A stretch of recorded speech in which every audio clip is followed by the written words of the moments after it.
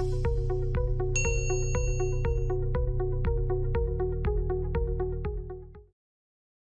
Hi guys, I'm Anjali from Simplilearn. Now if you have been following our playlist on Python, by now you have probably completed all the basic concepts of Python. So today we'll use these basic concepts in creating a website using Python again. Now this application is called Django and before we move into actually developing the website, let's better understand what Django is. So Django is a high level Python web framework. So when you compare Django to many of its other counterparts, such as Flask, which also uses Python, it provides very limited freedom. But then again, this limited freedom does mean that it makes development much faster. And that is the goal of Django. So if you're a complete beginner with web development and also sort of with Python, this is the place to start. So Django has a free and a paid version. But since we're just learning how it works, we can go for the free version. In fact, the paid version is only required when it's utilized by companies where they perform a lot of modifications to the point that it's actually unrecognizable.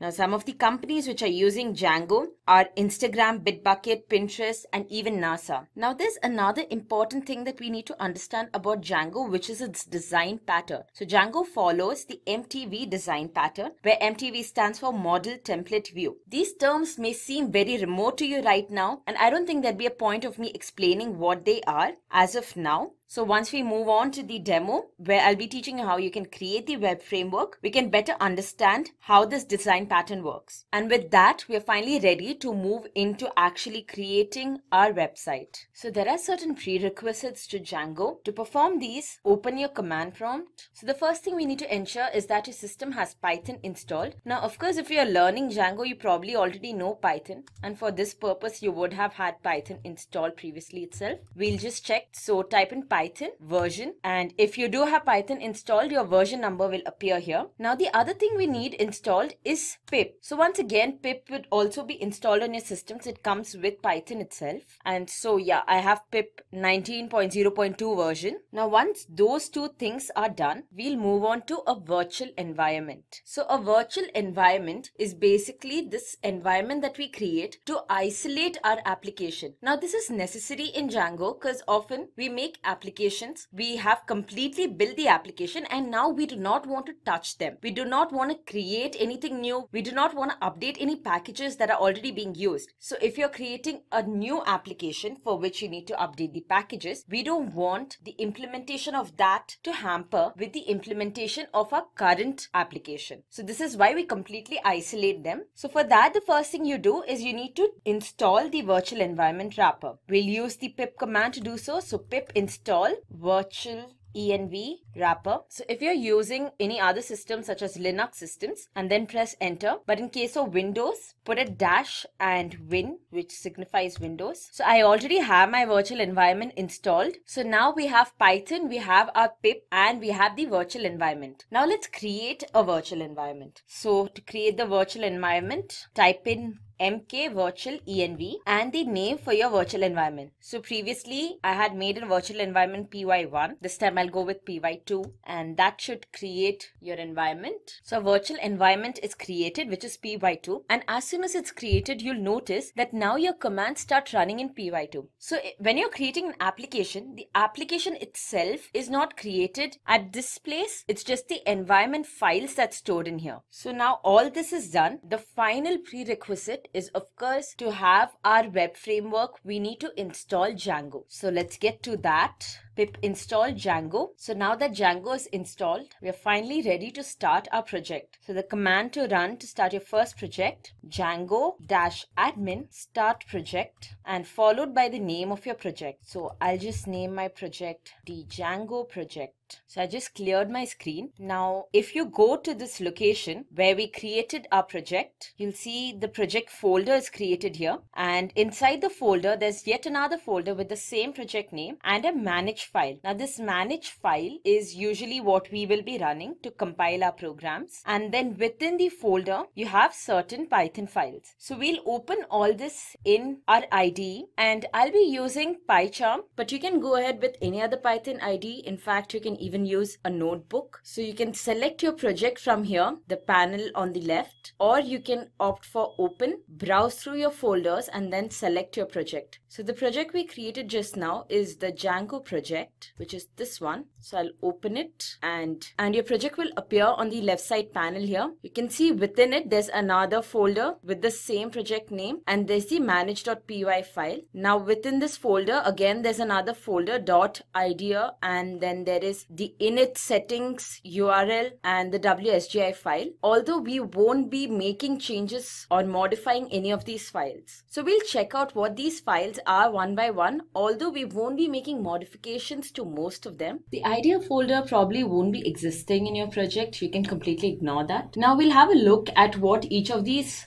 Python files do. So the first file, which is the init file, as you can see, it's empty. The reason is that the very presence of this file is only to inform that this package here, this is not any ordinary folder, it's a Python package. So you don't really need any content within this. Now the next file that we have here is the settings file. So the settings file is the central configuration file. This is modified only when your application goes into the real world. Other than that, we just leave it as it is. So some of the values that you would be modifying is, for example, the debug value. Now, when the debug value is true, which in our case it is, whenever an error occurs in any of your code and you're trying to run that page, all the errors appear on the page. But now, if you are putting your website into the real world, you do not want that all your errors will be displayed on the page for obviously security reasons. So then you can just change this value to false just before you upload your page. Next, you have the URLs page. As from the name, it's very clear. The URLs page is where you have your URL stored. So basically, this file maps the URL of a page to the function that the page will be performing. So now you have the wsgi.py code file. So this page contains an application callable which the application server uses to communicate with your code. And finally, we have the manage.py page. This is the page used to interact with your project. So we never ever touch the manage.py page. The settings page does change when your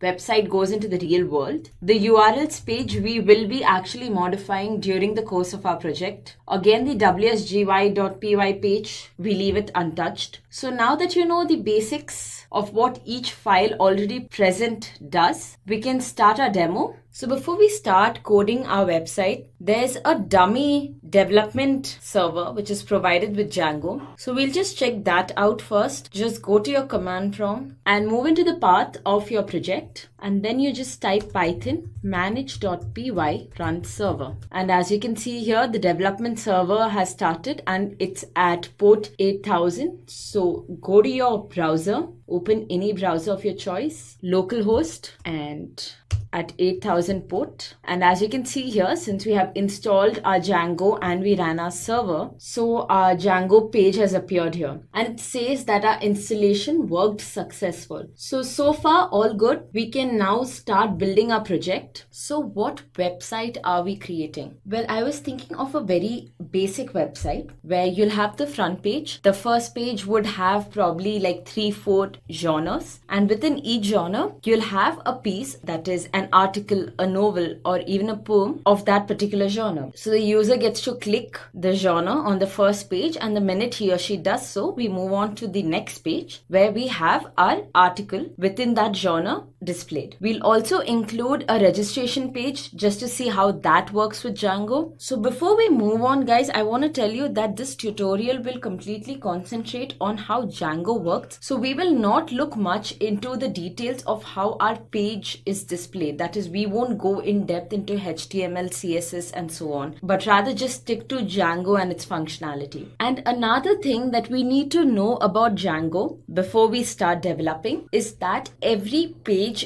Django is called an app. So when you go to a website, say Facebook for instance, you have multiple tabs, right? So there's a tab for the profile. You click on it and it immediately takes you to your profile. Now, if this entire thing that is Facebook was built on Django, then your profile would be one app. And then there's another tab which takes you to your messages. The page where all your messages are displayed, that would be a second app. So that's how Django works. Every small thing, every component or every page of your website is an app and you need to ensure that you can describe exactly what an app does in one or two sentences. So a page should not have multiple things happening on it. If a page is for displaying messages, that should be the sole purpose of the page. So yeah, that's the basic of apps and how they are a part of Django. So how do we create this app? Just open your command prompt, move on to the path where your project is stored. Now in here, you'll type in the command to create your first app. So that's Python manage.py start app and then the name for your app. So I'll name my app genre. So basically on my first page, I want all my genres to be displayed and every article is put under a particular genre,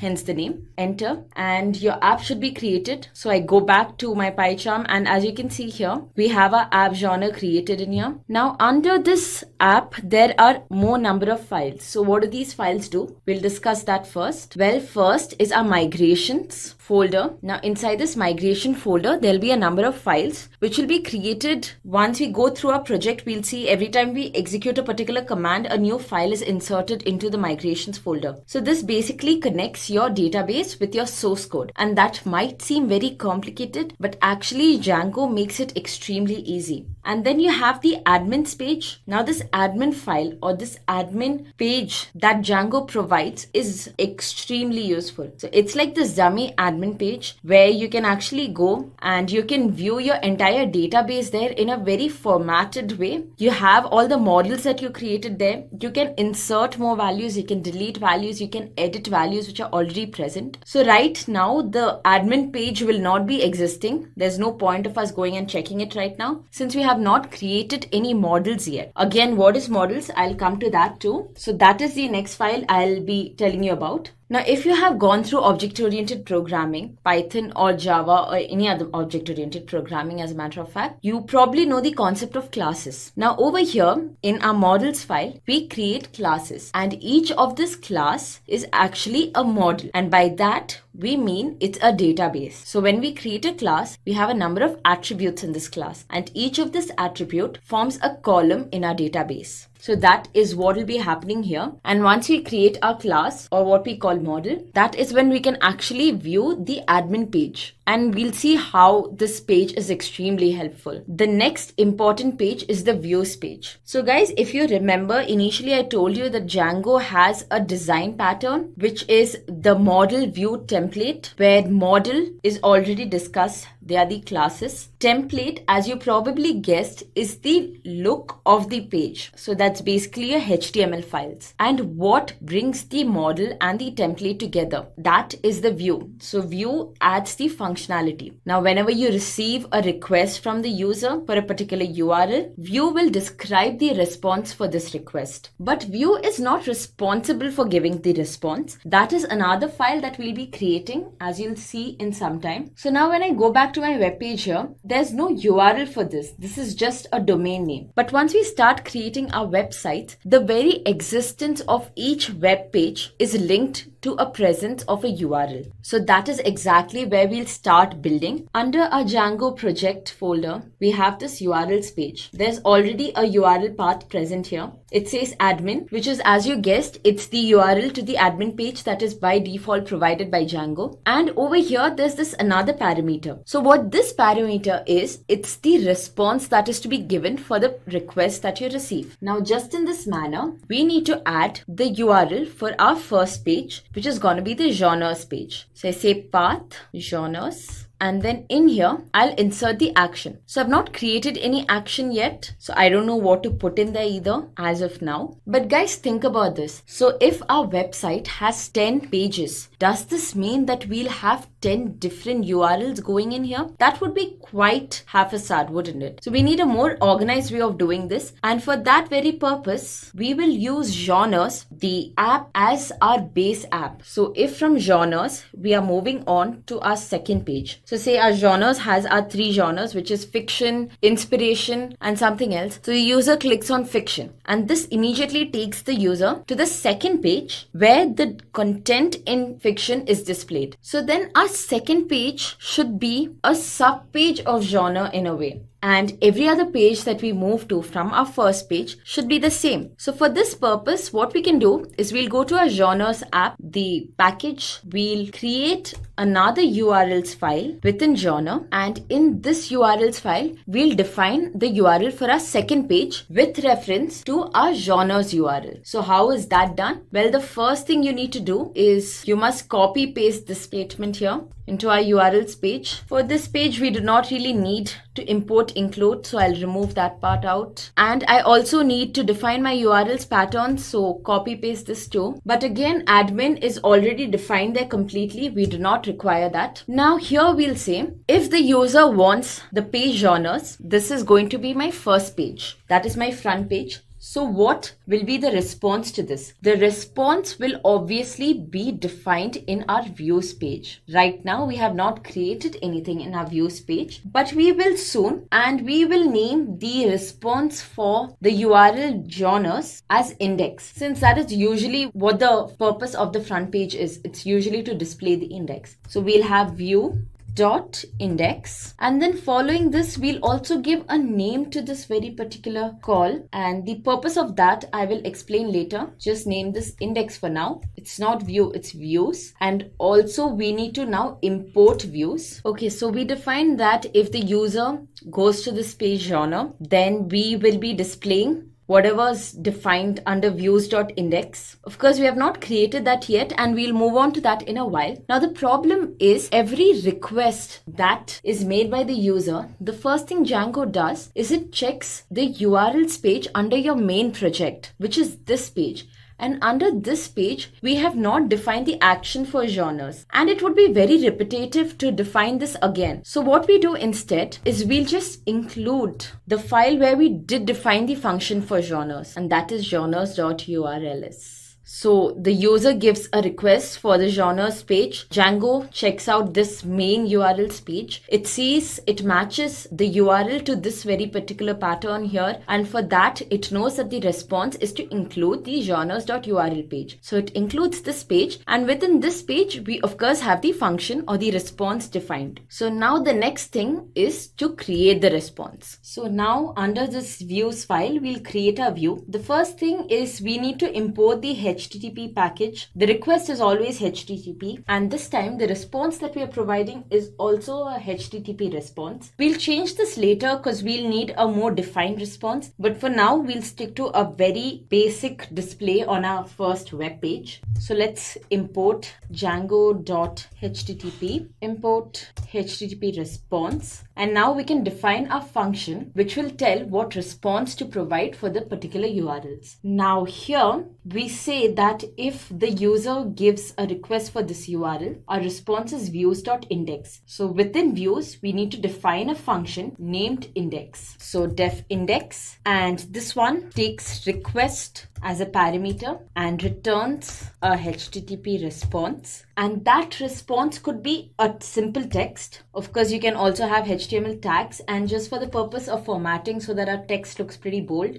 I'll put this into our header. Just say hello world. So that's done this is the response that we'll be providing for that particular URL. Now the thing is, we have this page here settings and in settings, if you scroll down, you'll see there's a list of apps which are installed and in this list, our app genre is not mentioned. So before we run our server, we'll add our app to this list. So that's done. Now go to your web page. If getting your learning started is half the battle, what if you could do that for free? Visit SkillUp by Simplilearn. Click on the link in the description to know more.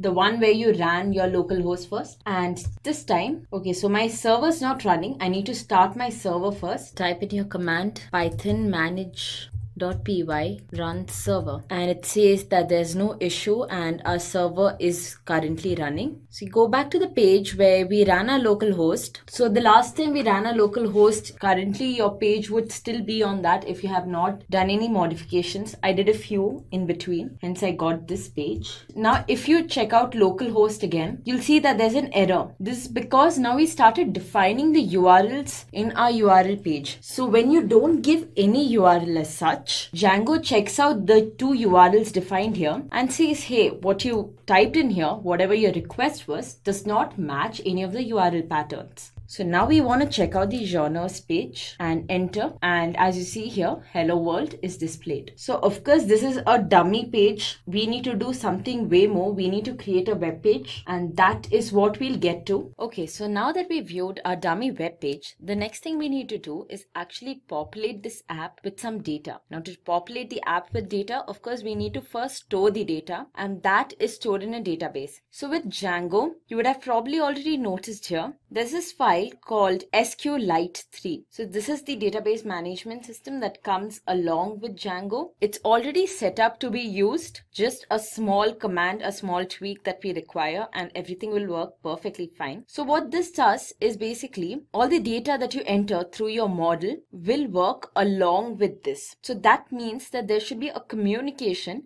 between your SQLite and your source code. Now, if I go back to the terminal where I ran my server, you'll see here there's an error line which says you have 15 unapplied migrations and your project may not work properly. Right now, what we designed worked right because we didn't have any data stored. But from now on, we will be storing data. So we need to ensure that the migrations are done right. And by migrations, we mean that our database management, that's SQLite, is synced pretty well with our source code. So first of all, stop your server and now you run a command to do the syncing, which is python manage.py migrate and as you hit this command the syncing is happening. So when you say that the migrations are complete what you actually mean is when django looks at your installed apps this is an app that we created and we just added it a while back to this list of installed apps. But everything else in here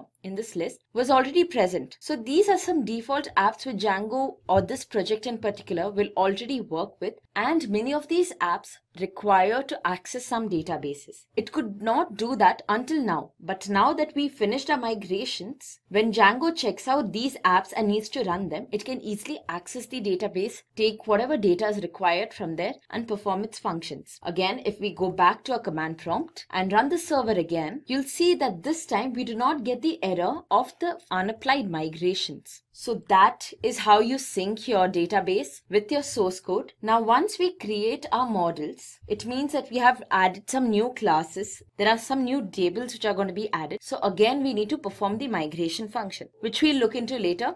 Now let's get to creating our classes. So as I mentioned earlier, models are basically classes. Now there are two classes that we will be creating for this particular project. The first class will have all the genres and the second class which will hold all the articles. So let's begin coding. Now my first class, I'll call it collection and every class needs to import from models.model. Now within this class, all we need to define are its various attributes. So I'll explain this again. The class is basically a table and all your attributes of the particular class are the columns. So the first thing is the collection name or the genre name. Now the collection name would be something like uh, fiction or inspiration or non-fiction could be anything. And all these are strings. So when you're inputting them so in django basically that's the char field type. So you say models dot char field. And a compulsory parameter here is you have to insert the maximum length. I'll give it 100 characters. Next thing we'll have a description for each genre type. That again would be char field. Enter a max length give it 500 and then we'll also have an image or a cover for each of the collection or each of the genre. So that would be i'd say call cover as in collection cover. So this again will be a char field type as i'm going to enter the link for the image over here. Now the links would be pretty large. So i'd say a length of 1000 so that's our first class. Now we'll define a second class which is for the particular articles or the pieces which are inside the collection. So here we'll just go for one article within a collection and I'll name this class as piece as in a piece within a collection. Again this class to impose from models.model and we will enter the column names now. So every piece will have a title which would be the name of the piece and that too would be of char field type. Give this a 200 and then all of these will have a particular type. That is whether it's a book it's a novel it's a poem or it's a blog post. That is what will go in our type variable. Next we'll have the artist name for a book, that would be an author. For a poem, that would be a poet. So we'll go for the general term, which is artist. The year it was published. Now the year would be an integer. So we have a different field type here, the integer field, and that does not require a max length. And finally, again, for each piece, you'll have a cover. So I'll name that piece cover. Again, we'll pass the link of an image here. So char field with the max length of 1000 and yeah so our two models are created here class collection and class piece. Now once again we'll do the migration and what will happen is that the database will link with this model and then we can finally view the admin page and see what exactly that admin page is that we've been talking about all this while. But before we move on we are missing out on something. So we have our collection and we have each piece how do we link the piece with the collection? Well, this is where the concepts that you probably learned in database is going to come into use. This is where we'll use a foreign key. So although we are writing a code here, this is exactly how a table in a database will be created. So every item would have a primary key and now we are going to use foreign keys in our class piece to link each piece to a particular collection. So if I say Dan Brown's book origin, so that should be linked through the foreign key with our collection fiction. So let's create our foreign key and I'll name it collection but this time with a small c models dot foreign key. So to the foreign key, you pass the table name to which you're making the reference first, which is collection. And then you pass on an action as to what will happen to a particular piece if the collection that it's linked to is deleted. So what we want is if suppose fiction is deleted, then automatically origin, which is tied with fiction, should also be deleted. And that is called a cascade delete. So you say on delete models dot cascade. And now we are finally done creating our models. So now that our models are created, we know these particular models are created for our application or our app genre. So you go back to the settings page and here we had previously inserted this app genre, but back then it was not really required. It was just that there is this other app that is not included in the default apps given by Django. So let's put in the name there. But now that we actually have a database associated with this app, we need to specify this app in its complete structure. That is the configuration. So if you go under genres and then there's this file apps and under apps, you can see this class genre config. Copy this, go back to settings. So genre dot apps dot genre config. So now when you run your server, Django will check the list of installed apps and will be able to access the database associated with our newly created app too. But there's more to it than that. Remember how previously we made migrations so we can link our database with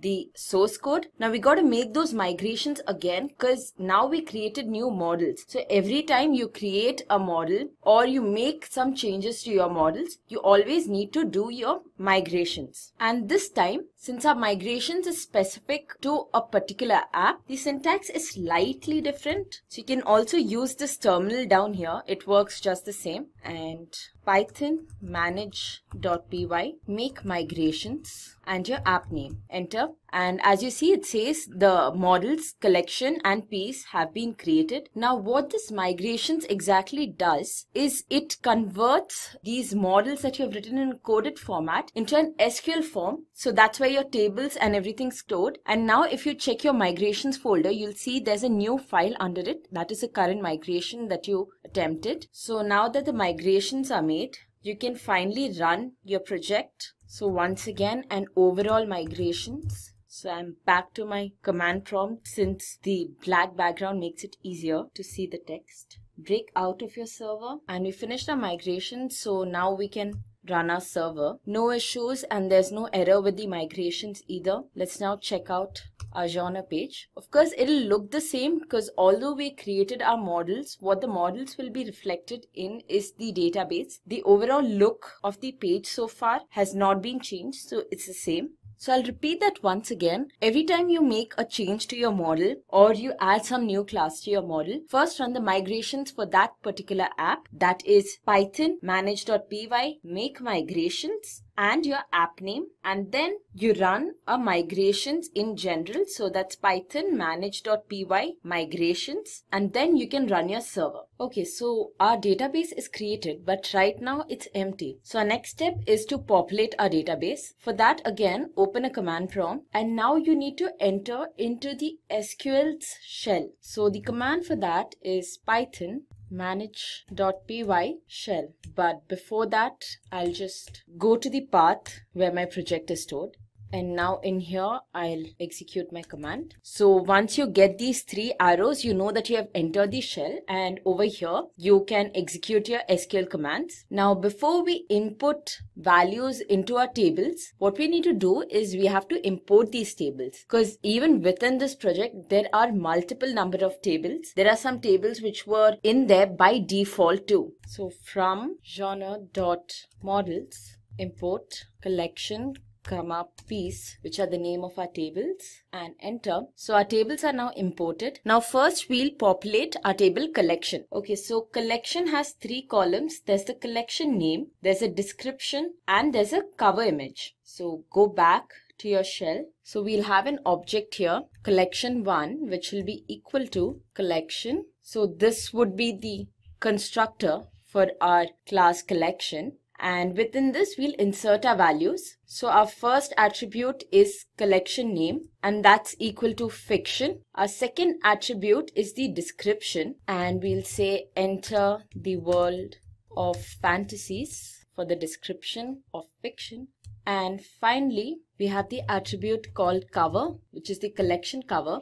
And in here, I'll just enter the URL of an image I found online so that's it. We have entered the values for our three attributes. Now press enter. Now let's view if this is actually stored in our database. So for that, you execute the command, your table name, which is collection dot objects dot all and it's empty. So what's wrong? We created an object in which we inserted all the values, but then still our database seems to be empty. So this is because so far this collection object that we created is only stored in our shell's memory. We have not actually committed this to the database. So the command for committing this to the database would be our object name, which is call one dot save. And once again, we'll execute the command to check everything that's present in our database collection. And now you can see finally that there is an object present. And now we can also check the value of the various columns in our table collection for this particular object. You can say call one dot collection name and gives you the collection name. Similarly, you can also check its description. Now, as I mentioned previously, every object that you create in a table has a primary key associated with it. So the primary key basically holds the uniqueness of that particular row. So we can also check the primary key for a particular row or an object. Just go for call one dot pk and it says the primary key is 1 now the primary key is also known as the ID of the object. So you can identify it as ID2. Again, you'll get the value which is 1. Now if you want to change the value of any of these columns, that can also be done very easily on the shell.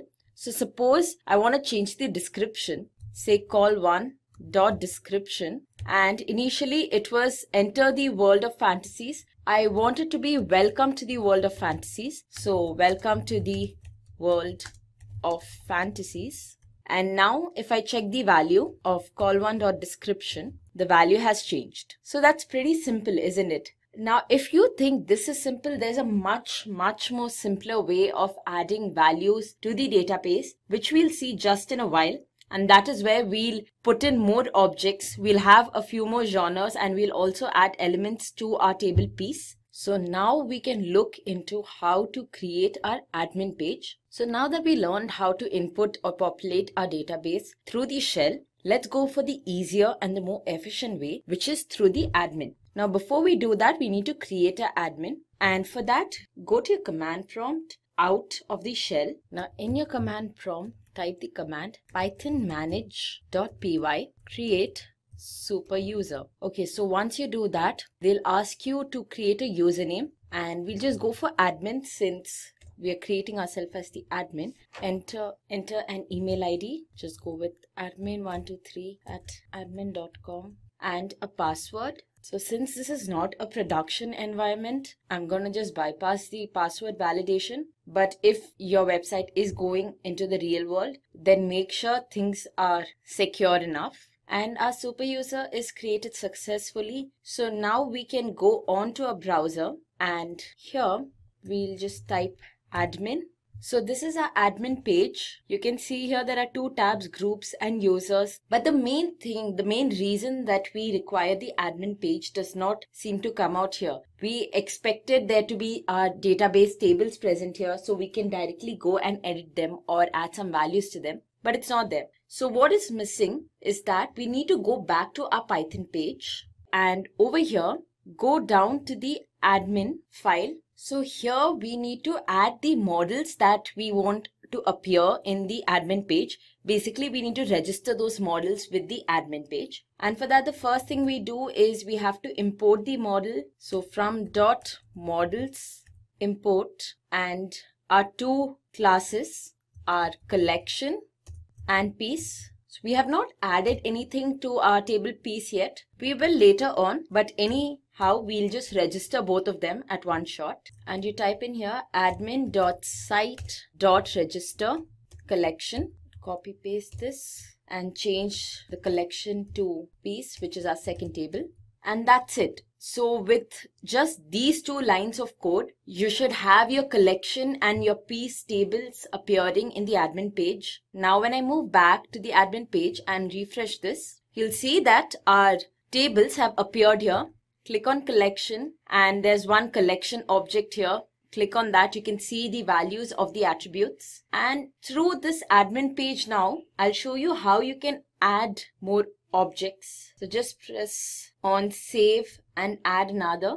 Here we can enter our second collection's name which in my case is inspiration and description would be be inspired to do more. And for call cover which is the collection cover I have another link that I just took from the net. Save and we'll add one more. So we'll have three collections now. And our third collection would be horror. The description let's say the fear is real although we hope it's not. And finally we have the collection cover. Paste the link here. Save this too. So now we have three objects under collection. Now as you see here all our collection objects just say collection object with a number in bracket. In the similar manner, when we were also going through our shell, every time we executed the command collection.objects.all, we got just the name collection object and a number. But we want something more meaningful. So when I look at this table of collections, I know that the first one is the collection fiction. The second one is the collection inspiration and so on. So for that, go back to your code. So go under your models.py file and under the class collection, we'll define a special method which is double underscore str. Now this is an overriding method that is this method already defined but the value returned by this method is not of much meaning to us as of now. So now over here we'll return something that we actually want to see when we look at the objects in our table collection. And what I want is I want the collection name to appear that would be quite clear as to what object is at which position. So I say collection return self dot collection name and that should do it. Now in the similar manner we can have the same function for piece 2 and for piece what we want to return is the title. So that's it. Now if I go back to my admin page,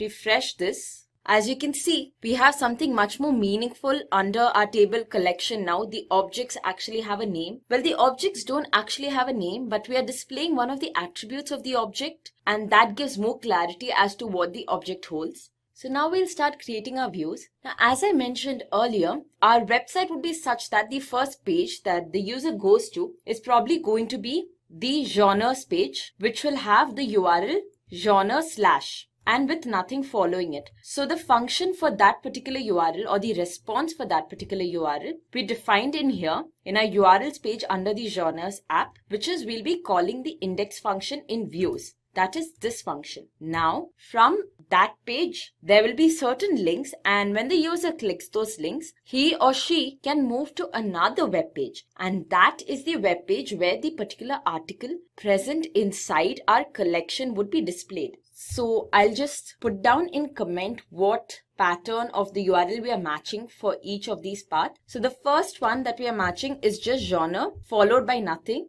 Now our next path would be genre followed by a number. Now this number one here is actually the ID of the collection that the user chooses. So if the user chooses the collection fiction, which is our first collection, that has a primary key 1. So immediately the user should be sent to the next web page, which is genre slash 1, where 1 represents the ID of the collection chosen by the user. So now for path, let's pass the expression that will match this particular URL and that expression's actually just an integer number since the front part that is genre slash is already matched. And this integer number, we are going to store it in a variable because we'll require that variable later. So you can just say int colon and collection ID. Now when you do this and genres ID. So when you do this, what happens is that this one gets stored in this variable genre ID and this pattern will match this URL. Now when this URL is matched, what response do you want to give? That is what do you want to display on that particular web page? That will be defined in another function, we'll define under views. We'll name it details for now. Of course, details is not defined. We'll do that in a while. And give a name to this too which will be the same details. So now we are able to recognize this URL. What we need to do is next we need to define details which will give a response to that URL. So go to your views page and you create your details function. Now what is displayed in this details function greatly depends upon the genre that is chosen by the user in the first page, which is stored again in genres ID. So over here, you pass not only the request, but also genre ID. And inside, you'll return a HTTP response. The collection, the genre ID is the HTML tags also need to be within the quotes copy paste that in here have quotes here too and now one more thing we need to do is so genres id is an integer but we cannot concatenate an integer with a string. So we need to convert this to a string and that's it. So let's go back to our web page and run this page. So the first page which is genres displays hello world now, if I enter genre slash one, which is what we created newly, run the code, you see here the genre ID is one. In a similar manner, even if I enter five, although we don't have a collection five, it'll display the genre ID is five. Now, these are dummy web pages, so this kind of a display is fine. Of course, once we actually start building our view, which we will do very soon, things will be more defined. Now, let's get to actually creating a good view. So what we want here is, uh, first of all, we do not want to display any large text. So let's delete that off. We need to import our models because this is where our database is. And of course, we need to fetch information from our database to be displayed on our view. So from dot models, import collection and piece. Now in our index function, what we'll do is we'll first collect all the objects from our table collection. We'll have a variable which is all collection and then to collect all the objects, we'll use the same SQL command that we used. So, so that's collection dot objects so all your objects in the collection table will be stored in all collection. Now we'll store this as a dictionary so that we can iterate over these objects and display them one by one. So we say context equal to all collection is the key and the value would be our variable all collection. So that's done. Now we need to iterate over this. So do we do that within our views itself? But there's no point of doing that because while we are iterating over every object in our collection table, we also need to display them in a certain format. That means that we need these objects to be somehow embedded in a HTML file. And this is where we create our very first HTML file for our first page, which is the genres page. So to create our HTML page, inside genre, create another package and you name this package templates. Now inside templates, create another folder and give this package the name, same name as your app name. That is genre. And now inside genre, we can create a HTML file. I'll name this file genre template. So all our template or our HTML files will be in this path. Okay, so before we actually develop the genre template HTML file, we'll go back to our view and complete this section off. So now what we are saying is that we have a template, we have a HTML file and that file will define how we need to display the objects in our collection database or our collection table. All we need to do here in our index function is actually pass these objects to our HTML file. So for this, we have a function render and before we actually use the function, we need to import the library django.shortcuts under which we have this function render. This is already imported on top. I did not see that, so I'll just remove that part out. And now that you have the render function, you use that to pass your object. So what this render function does is basically, we'll pass context to it. It will type context with the template name that we pass and it will return a HTTP response object. So you pass your request, you pass the path to your template that is genre slash templates slash genre slash genre template dot html so now you have passed your template to and finally the object which is context so that's pretty much all you need to do for your very first view under the views file now we need to develop our genres template so for our HTML file, first thing we'll change the title. Let's display our app name. So in this particular case, since I'm making a dummy website, I'm not giving it a name or anything, just going with our app name. Okay, so now we need to display our objects which have been passed from the views folder. Now the render function basically passes an object which is called object underscore list. So we'll create a for loop, say collection in object underscore list. So this way we can iterate through all the objects in our object list. And now see, this is an HTML file, but this line of code here, this is the Python code. So pretty often this will happen that you need to embed a Python code within your HTML file. So what you do is you insert your Python code within curly brace followed by the percentage sign. This will tell your compiler that, hey, although this is a HTML file, this line here is actually a Python instruction. So now we're able to extract each genre in fact, I'll name this variable as genre obj.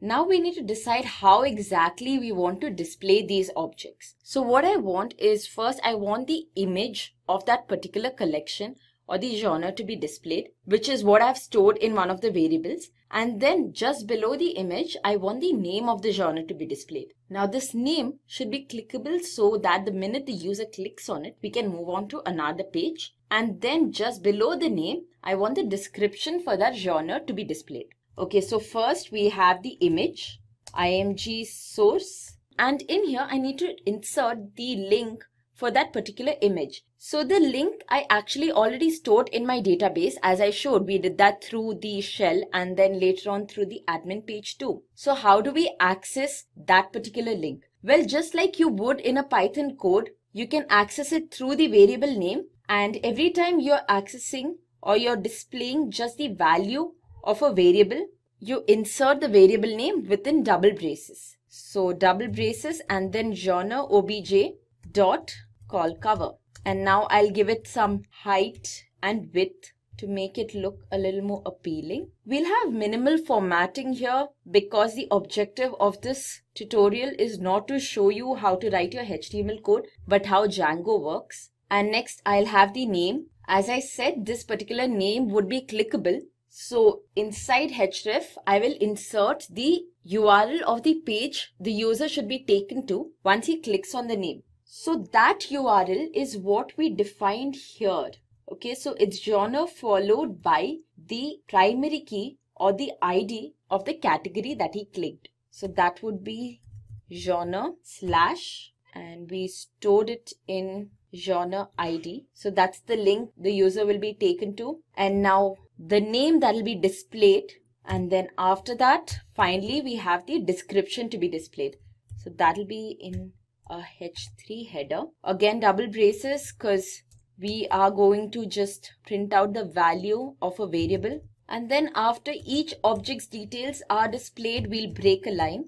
For better formatting, what I'll do is I'll have all of this embedded within a div and have it aligned to the center. So that's it. We have created our HTML file here. One more thing, I'll just say end for so that's it, our HTML file or our complete display for the first page has been created. So once again, I'll explain what will happen in the case of our first page only. When the user enters the URL slash genre followed by nothing, Django will first check this URLs page, the main URL page. It'll see the path has matched here and the action for this has been defined as you include the genres.url page. So it goes to the genres.url page, includes this, and in this, there's a function defined as a response for this particular URL, a very well-defined function which is in our views file. So it goes to the views file and in the views file, we have completely defined our function index.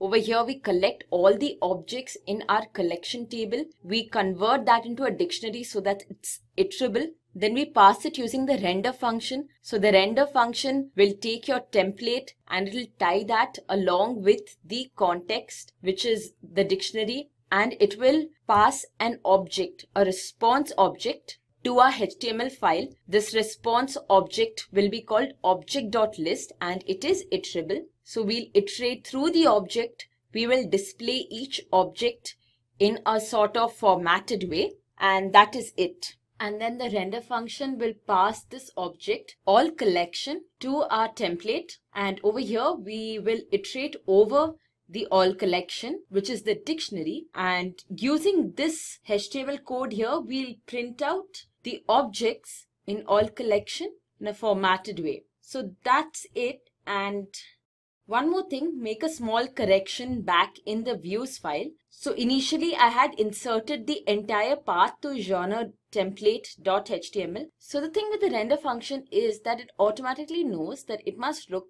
into the templates folder. So you have to only give the path after the template that's genre slash genre template. Now let's go back to our browser and in here put in your URL and there you go. So that's our first web page. You can see the image for our genre is here and then you have the name and then you have the description. Okay, so that's redirecting us to a page where there's an error. It says that this path is not found. So when you look at these error guys, you will understand better as to how the matching of the URL patterns take place. First, this URL pattern, just this part after your port number that is checked against the URL in your main URL file. That is Django projects.url file where we have defined just genre. And then after that it will check the files that we included in the genres URL file. That is genre followed by the the genre ID Now we had defined a dummy page for this previously and that was being displayed too. So I'll go back to the code and figure out what the error is. The error is here of course I wrote genre ID which does not signify anything as such. Now because here we have this object genre obj. That is where all the objects from the collection table are stored one by one. So what we actually need to access is the ID for genre obj. Now I'll go back to my browser. So now I'm back to my browser and as you can see here, we still have our front page. Click on fiction and yeah, we got our dummy page back. So now our next step is to design this page. Go back to your code and again, designing the page means we need to start putting content into our details function now before we start designing this function, we need to populate the piece table. So again, let's go back to our admin page. We'll add the data through the admin page since that's much easier. Here you have piece and click on the add button. First we'll add for fiction. The title we'll give, let's insert the book Origin by Dan Brown. So the artist would be Dan Brown and it's a novel and the year is 2017. That's the year of publication. And for the piece cover, I'll just put the book origins front page cover. I'll just put in the image here, a link, save and add another. Now for inspiration, I'll put in the poem if and type would be poem. Artist is Rudyard Kipling, Kipling with single P. The year of publication would be 1895 and for the piece cover another link. And finally we'll add one to horror. The title would be the pet cemetery written by stephen king. And again this is a novel. It's published in the year 1983 and then link. And we save this. So we are done for each of the categories or each of the genre. We have added a single article so now that our table piece is also populated, we can start designing the view for this. So for our details page, let's start with removing this HTTP response here. So first what we need to do is we need to extract the object that the user selected from our genres page. So we say collection dot objects dot get pk equal to genre id. So what we are doing here is as you can see above we use the query collection.objects.all which returned all the objects in our table collection. Now here we are telling that okay I want just one object from my collections table and that particular object is the one whose primary key matches that stored in the variable genre.id and since genre.id is defined in this file and it's basically the ID of the genre that the user selected. This will be a number either 1, 2 or 3. That is 1 for fiction, 2 for inspiration and 3 for horror. So now that we got that object, we will use this object C item to extract from a piece table. So for that we say piece.object.filter and to this we pass and the category that we filter on is the collection and that is our foreign key. So remember when we created our table piece, we had a foreign key named collection. So we are saying if collection is equal to C item, then extract that particular object from our table piece. And then we will return this again through the render method, pass the request, and in here we'll have the path to an HTML file just like we did in the previous case. But this time a different HTML file because we want to display this slightly differently. And then finally we need to pass the context. So we haven't created the context yet which we will. Now although this is just one item every time are passing it through the render function you need to make a dictionary out of it so just copy paste this here, name this p item, pass in here p item, And just now I did create a HTML file in the same path as before. That is under templates, you have the genre folder and under that I created a HTML file called detail template. Nothing's filled yet, but now that we have created a file, we can put in the path here. So just copy paste this and change the genre to detail. So that's done too. Now all we have left is to actually code the HTML file. So I'll just copy paste this here and then make the required correction. So in p item and this would be piece object. You align its center and piece obj is the cover. We do not really need a href here. So delete that part out because this is the final page. We are not redirecting to any other page from here. Of course, when you're building a complete web page, this ideally, when you click on the name of an article, the article should open. We wouldn't be including that part here though, because it does not bring out any new functionality of Django. Piece obj and here, so piece obj dot title dash and then we'll print out the author or the artist name. So piece obj dot artist. And finally, we can have the year. Also what this particular article is, that is the type. So that's pretty much it. We'll change the title to. So now that this is done, we'll just end the for loop. Also this is not call cover but now we got to change it to piece cover. And now we'll go back to our browser. So this is our genre page. Refresh it once again. And we'll click on one of the genres. And yeah as you see the particular piece related to that genre gets displayed the pet cemetery by stephen king which is a novel published in the year 1983 so now we're back to our code and well our first and our second page is designed. It's working fine. So now we are not going to create something new. Instead what is already created, let's modify that. Now so far the functions that we wrote work just fine. But Django provides this thing called generic classes or generic views. What this does is it makes writing these functions extremely easy. So now you have four lines of code. The exact same thing can be done in like two or three lines of code. In fact, it's not just the easier method. This is also recommended.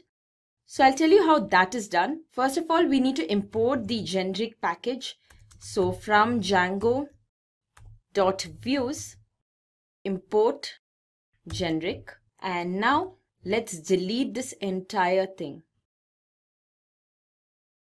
So our first function is basically listing out all the objects in the table. So you have multiple objects, all of them are being listed out. Now this kind of a function would belong to a generic class. So far I was defining functions. Now I'm speaking about class. So is it a function or a class? Well, it is a class it's definitely a class, but I'll show you how this class is called as a function. So first we'll finish writing the class. Now we have the class index and this particular class type is a list view because we are listing out objects. Now under this first we'll have a template name which is the path to our template. And now to return our query set. So previously we were always returning a dictionary. Now we can return a query set.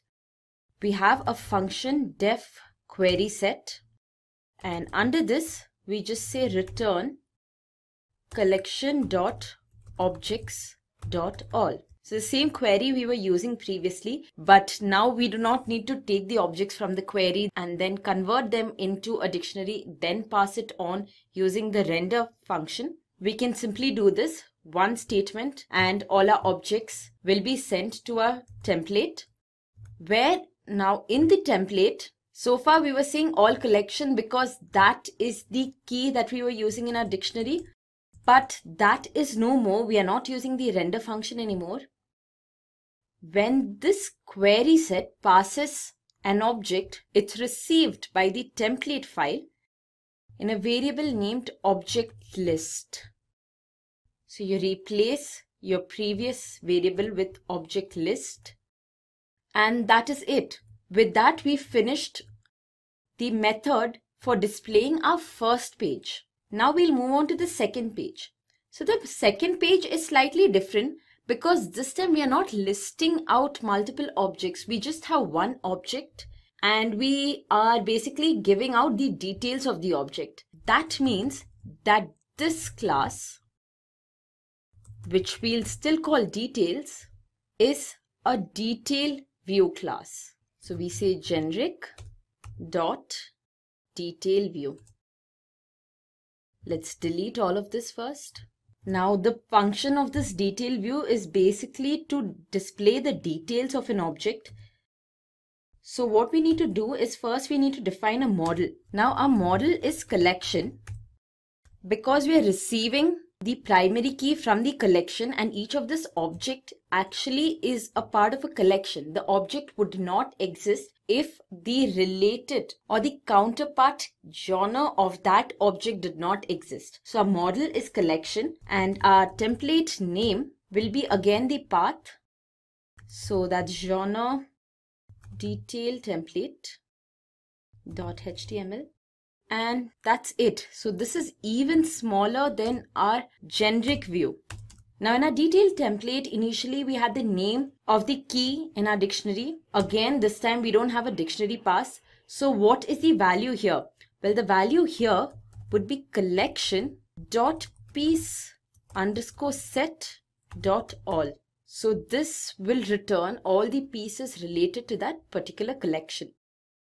And everything in small this time now we are almost done. Go back to your views and you see this is a generic detail view. Now the thing about the detail view class is it always accepts one parameter. Go back to your URLs file. As you are passing here a variable gen, uh, genre underscore ID of in type, you don't need to do that anymore. You can simply say pk and pk will be passed to this class and now that's the problem. So here we were calling functions, but now we have classes defined, not functions anymore. So we need to figure out a way of calling this class as a function. So for that, you just say as underscore view for both of these classes. And that's it. As simple as that. Now you can call your classes as a function and since you use the generic view now things have become so much more simpler much smaller. Our code looks very neat. Now let's go back to our browser. Go to our front page. Let's see if everything's displayed right. Yes it is. So our changes worked out just fine. Click on one of these tags and as you can see the page has loaded. So much less code very few lines of code but things work just as fine as before so our web page is all built, but let's add something new over here to make it look a little more like a website. One of the most common things that you find in every website you go to is a navigation bar. So let's add the navigation bar. Go back to your code. Now in here, we need a navigation bar in both our pages.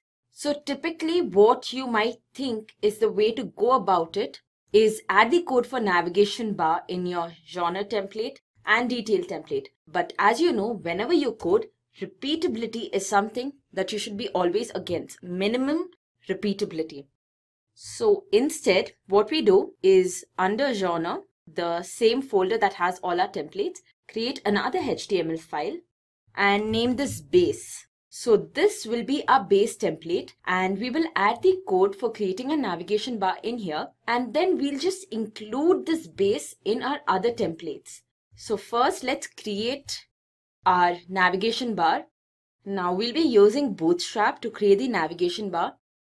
And every time you work with Bootstrap, the first thing you need to do is in your head section, include these three links.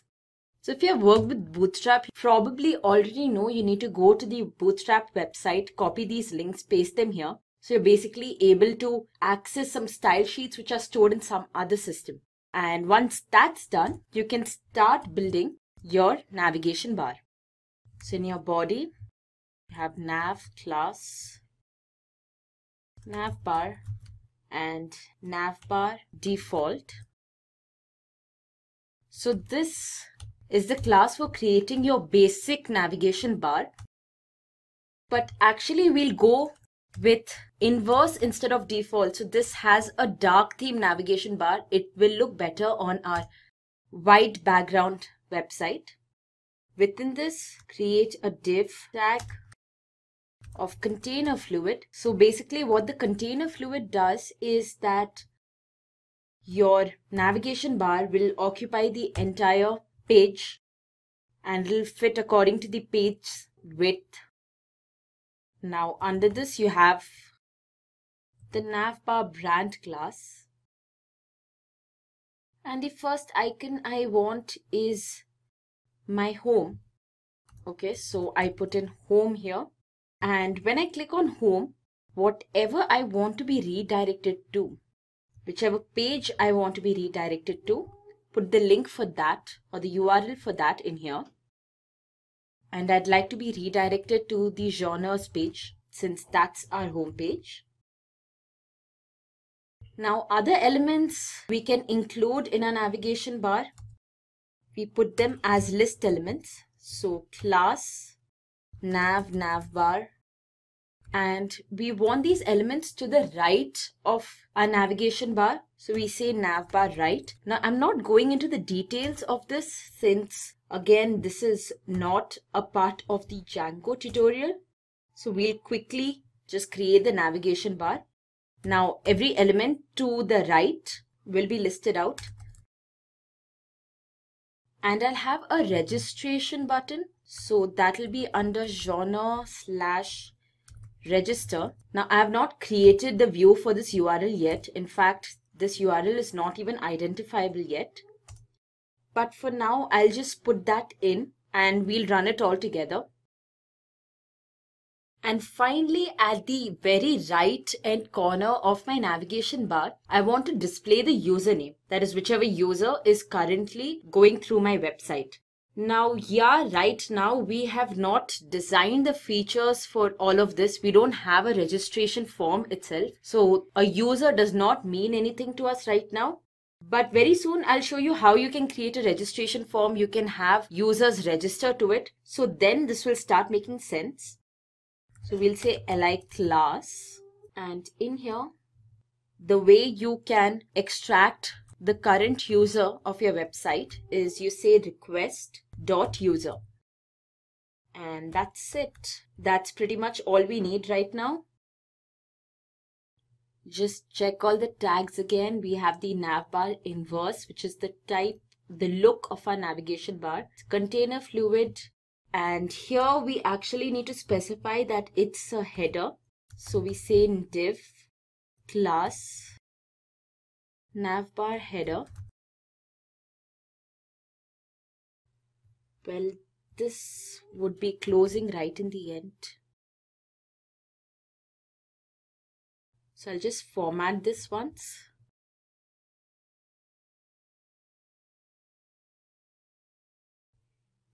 And finally down here you insert two python statements. You say block content. Uh, content is a variable so you can have any other name here just say block content and then end block. So why this I'll explain to you in a while.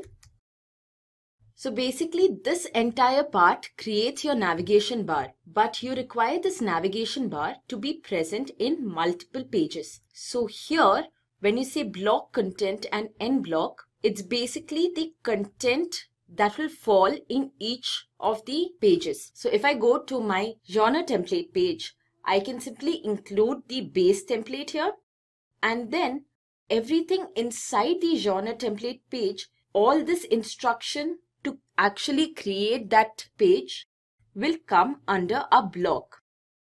So what we'll do here is we'll go to our template pages and here we will extend our base.html file. So extends genre slash base dot html and then the body the instructions within the body will be the content of the block. So you say block content and then end block. Now we do the exact same thing with our detail template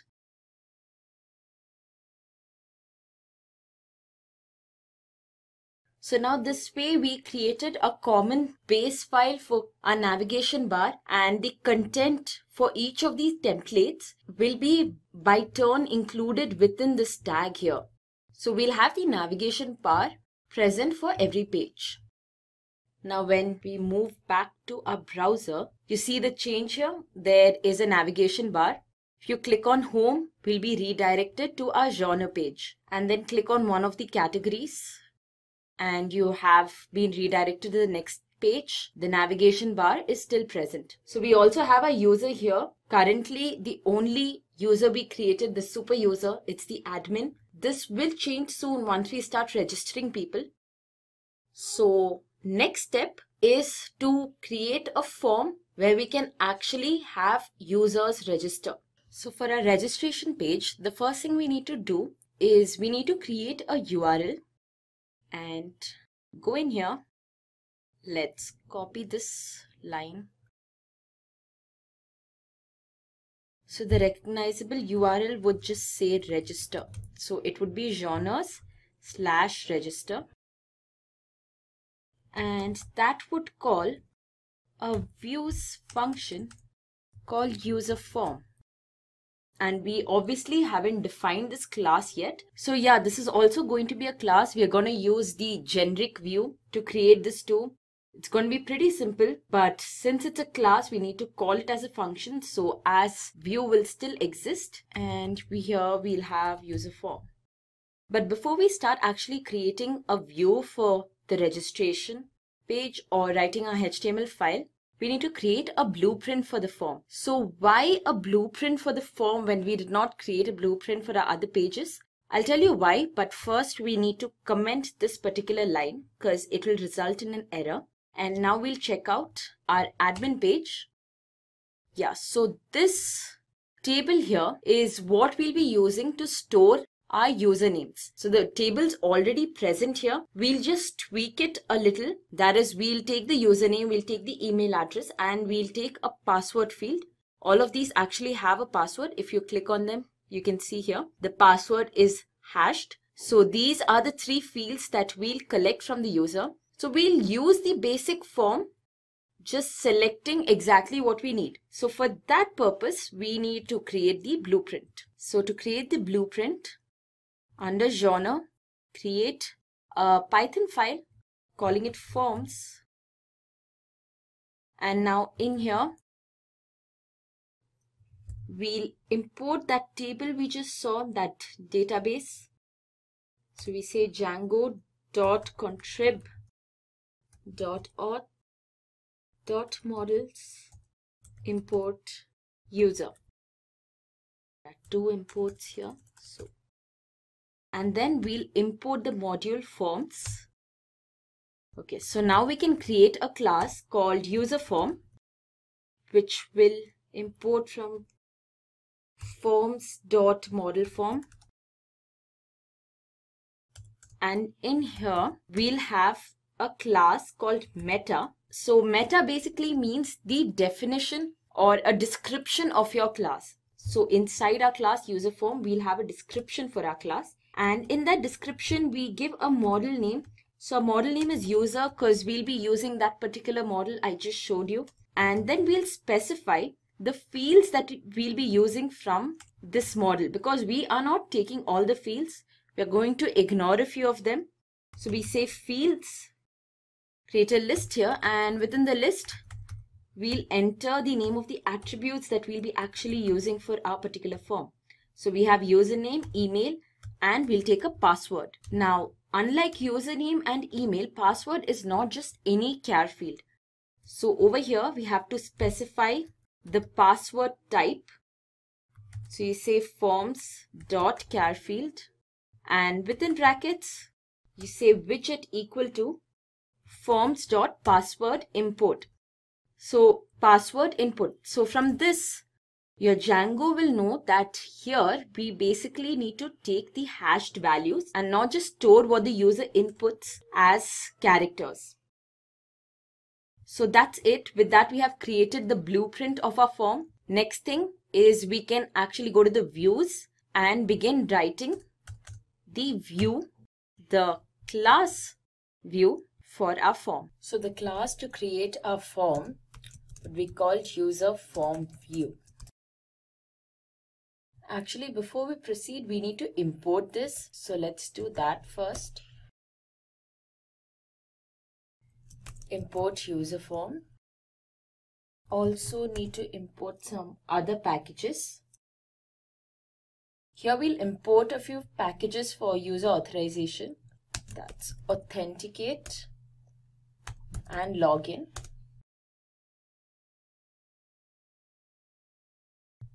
And now we can begin writing our user form view class. So to user form view, you pass the object view and we also need to import a class for this. So let's do that. From Django dot views dot generic import view Okay, so the first thing we need to define a class for this form and that would be the user form. And once again, a template for this form which will define the outlook this form has. So you give a template name, which is a variable name. Actually, you can have any variable name here, just something that makes sense. Now, I don't have a template page already. So I've not, as in I've not created another HTML file for the form specifically, but I know that I'll be creating it, the pass genre slash and the name of the HTML file. So that would be form template. Now the minute we are done writing this view, I'll show you how we do the template. That's just basic HTML code, so I'm pretty sure you know how to work with that too.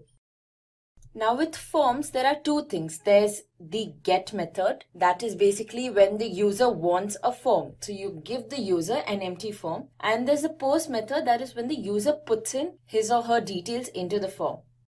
So with our class, with our generic classes, these methods are already defined and within two, three lines, you can completely define the functionality of these. So first is the get method to which we pass self and request. Now the first thing is you provide the form to the user and this form is empty. So you say self.form class and you pass nothing to this because as I mentioned earlier too, the form is empty. And now what you do is you return this object through the render function. So basically when you do this, the form is combined with the HTML file and an object is returned. So basically when you do this, what happens is, as I mentioned earlier too, the render function works in the same way. It passes the object of the form, the content of the form to the template and it basically sends out a HTTP request. So that's your template name and then finally the form itself. And as we did previously, this will be a dictionary. And that is the get function. Now we'll move on to the post. Again, you pass self and request. Now when the user enters the data and then hits the submit button, that's when the post function will be called.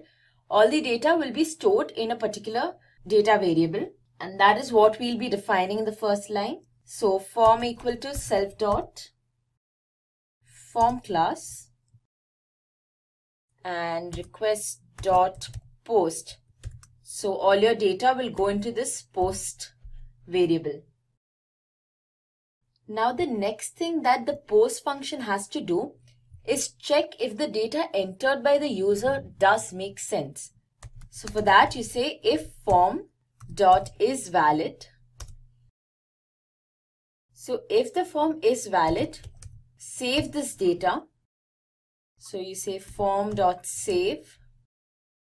So where exactly are we saving this? Well, as I showed you previously, uh, Django provides this table for user, this database for storing the users and the group users. So that is exactly where we'll be storing the data received through this particular form.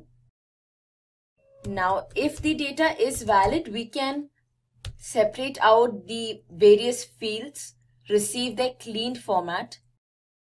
So first we have our username. Say username equal to form dot cleaned data and that will be username and then you have the password so remember when the user entered the data itself it was stored in these fields but now we are getting a cleaned version of that data and storing it in this these variables username and password.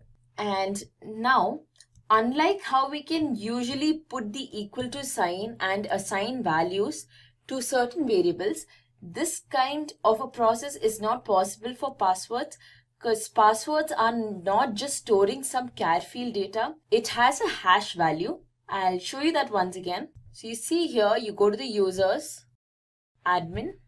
And if you check this out, the password is not actually stored as just characters. It's hashed using some algorithm and then it's stored. So in this particular case, we cannot say that password is equal to this value. There's a certain function through which you pass the password such that it's stored in the required format. So for that you say user dot set password and then you pass password variable. And finally, you say user.save. So guys, over here, actually, we are saving the data in the shell, not in your database. And once our data is cleaned and everything, it is then that we are saving it into the database. So that's why we have two save statements here. So now that the user has entered their data and they have hit the submit button, we have saved the data in our database. What's next? Well, now what we want to do is we need to redirect the user to the index page. Basically, once the user is done with the registration process, there's no point of the user staying on the same page again. So we redirect them to the index page. Now along with this, we'll also combine login. So if the user's password and username are authenticated and the user is in active status, that means that the user has logged into our website. So now we'll see how this is done.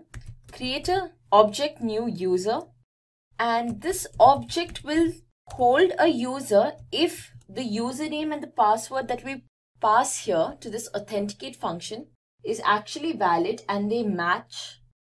That is they form a that is they form a pair. So the username will be the variable username and password will be the variable password. So if the new user does exist that is if new user is not null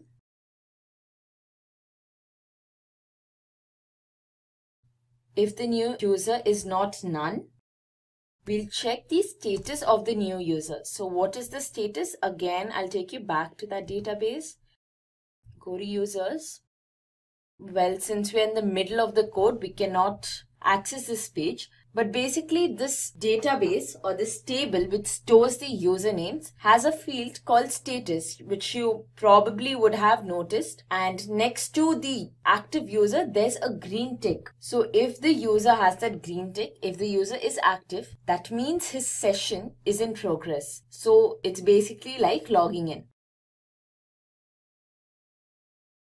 So you say if new user dot is active you log in the user, so you send request and the new user object.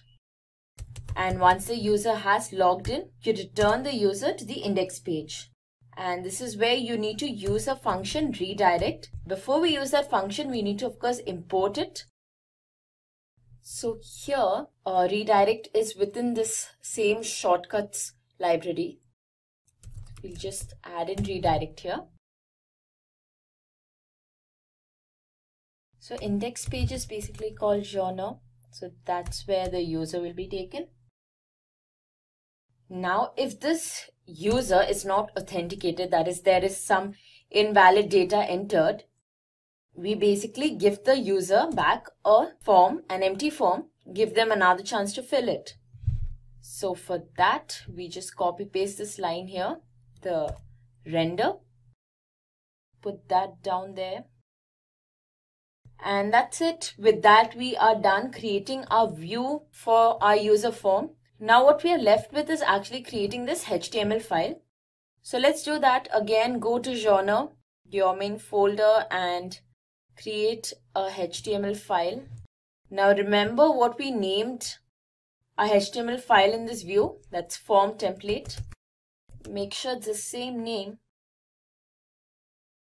So let's start creating the form. The first thing we do is for the form too, we want to add the navigation bar. So go to your go to any of your HTML files and copy out these lines here registration then you have the block content which is exactly where you'll be putting all your content that goes here. And then we'll start and then we'll add the end block. Again copy paste that too. Okay. So now we can start typing out our HTML code. So first is our form tag. Now this is going to be an extremely simple, straightforward form. And now the thing with Django is whenever you're having a form, an interactive form, make sure to include this CSRF token here.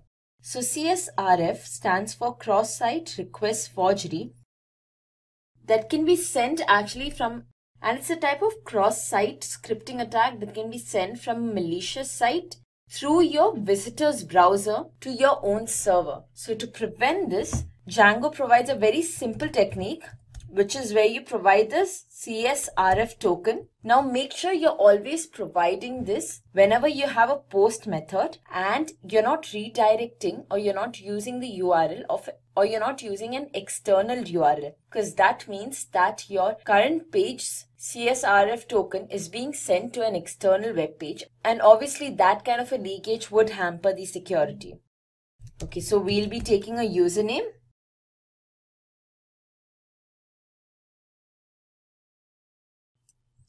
Again, email is also type text.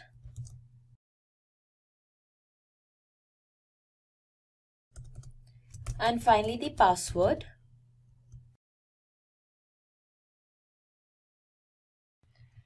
And after all the fields, you have finally the submit button.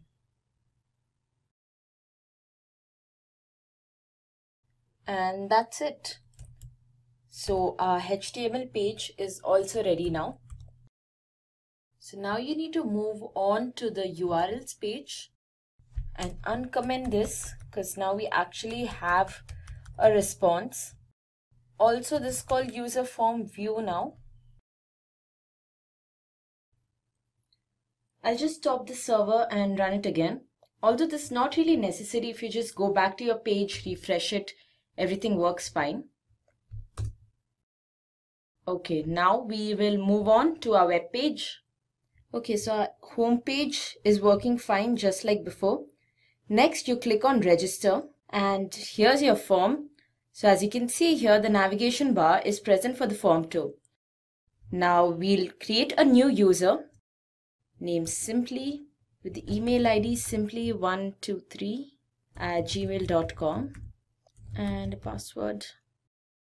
That's it. Now click the submit button and the minute we click the submit button, as you can see, we got transferred back to the home page. And in here, if you see the right hand corner, you'll notice that we had admin before, but now it's simply. So that is because we just now created a user simply. And the minute you create a user by default, that becomes the active user. Now to check this, we will move on to the admin page. And this is our landing page. So now what happened is that since the other user that we newly created is the active user. That means we got logged out of the admin's profile. And to view the admin page, of course, we need to be logged in as the admin. So I log back in. And as you can see here, under the users group, you'll notice we have a new user created, simply with the following email ID. Choose from over 300 in-demand skills and get access to 1,000 plus hours of video content for free. Visit SkillUp by Simplilearn. Click on the link in the description to know more.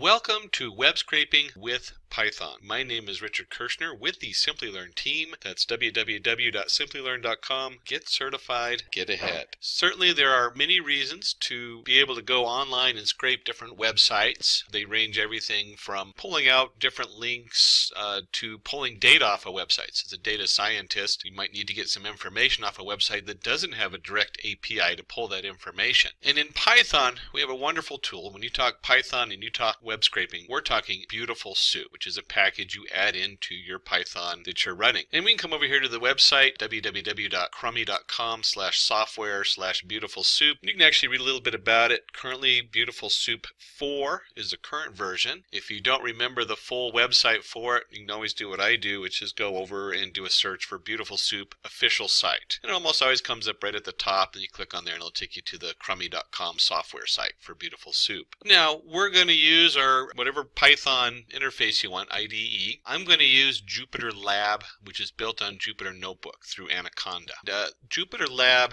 is Jupyter Notebook with added tabs and some added features. It's basically in beta testing, so it's got a few little glitches when you're saving things and moving between projects, but for the most part, it's a great upgrade to the Jupyter Notebook, and you can use them together. So you don't have to, I mean, it's built on Jupyter Notebook, so anything you do in Jupyter Notebook, you can open up in Jupyter Lab. And the first thing we need to do is we need to go ahead, in this case, I'm going under my environments since it partitions the environments out and I'm going to open up a terminal window. We have to install some packages in here to work with. Now there's a lot of choices on this. I, because of the simplicity, will be using conda install. Now you can use pip install for the same thing and we're going to install our beautiful soup 4. Uh, and you have to type out the whole thing beautiful soup 4 and you can use a pip install if you're using a different environment. And I am using Python version 3.6 although according to beautiful Soup, they also work on 3.7, all the way from 2.7 through all of 3x. Now, according to the Beautiful Soup website, the Beautiful Soup 4 works on anything you can install on anything from Python 2.7 all the way through any of the Python 3 versions. Uh, this just happens to be Python 3.6 because I do there's a lot of other packages that don't work on 3.7 yet. And we'll go ahead and run this install on here and let it go through its environmental setup. And of course with Conda, it goes in there and finds all the dependencies.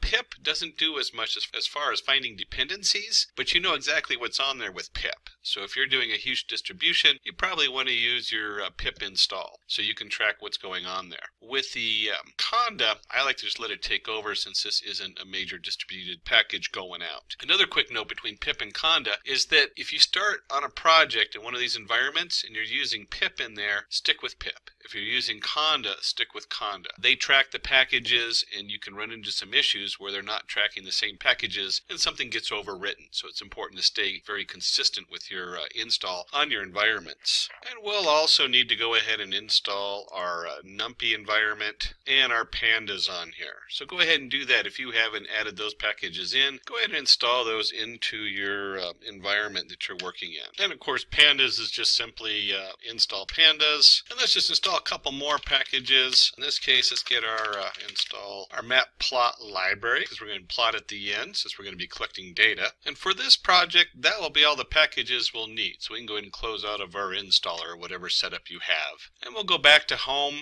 and we'll just launch our Jupyter Lab and that will open up in our browser window.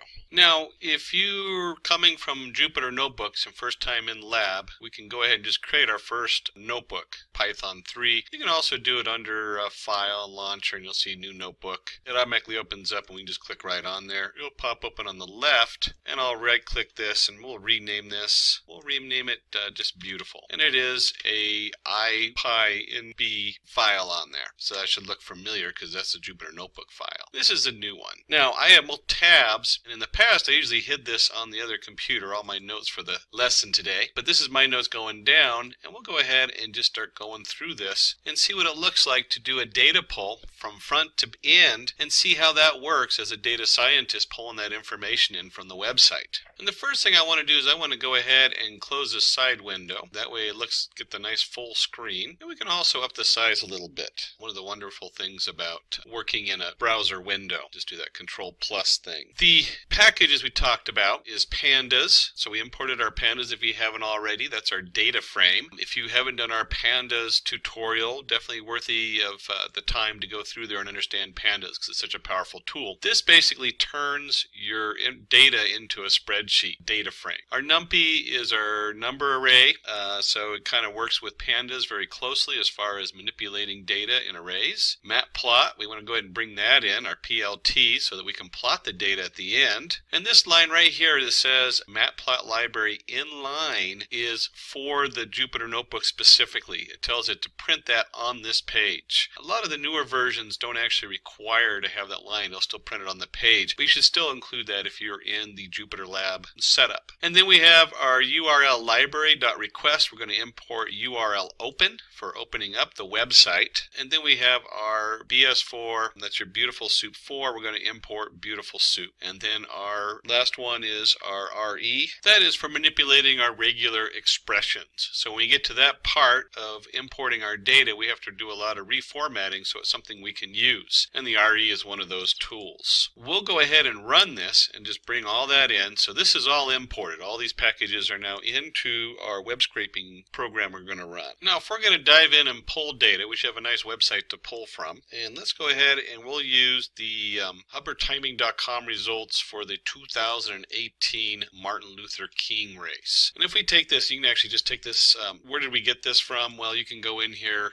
and find the website you're going to scrape from, and you'll see right here it says you just copy that link right in there, that HTTP. Um, and this is the website that we're looking at. You can see right here all the information that we're looking at. Let's say we wanted to run some statistics on this. It sure would be nice to be able to pull it off of here. And if they don't have a direct API, that means we need to pull it from their website. Some of these will have a download, although if you've ever done where you have a download click and maybe you're paging through a 100 websites, uh, in one case I was uh, pulling all the different United States bills that are passed to track who voted on them uh, for a project. And you can imagine that there's, you know, hundreds and hundreds of those, thousands of these documents that they voted on, who voted on it. It goes through the Senate, goes back to the Congress. So I opened up a website, pull all the links off of there that match a certain criteria. And we'll look at that in just a minute, how we go through the HTML. And then I had to reformat them, or I could hand download each one one at a time, which would just be a nightmare. So it's nice to automate it. In this case, we're going to be pulling up this chart. And we want to figure out how to pull this chart off of this website. And so when we go back into our Jupyter Notebook, I've got my URL, just um, our name for it, and it's just a string. That's all this is. Nothing fancy there. You'll notice that on the uh, slashes, we now have forward forward slash. You can do a single forward, and HTTP is a double forward. This is just how you have to switch it to match setup in there. And then it's going to go ahead and use the HTML equals URL open URL. And that's from our URL library request. So it's opening a link to that website, or at least pointing to it. And if we run this, this just sets it up. So this is all set up. And then once we've done our uh, setup, let's go ahead and create an object called soup.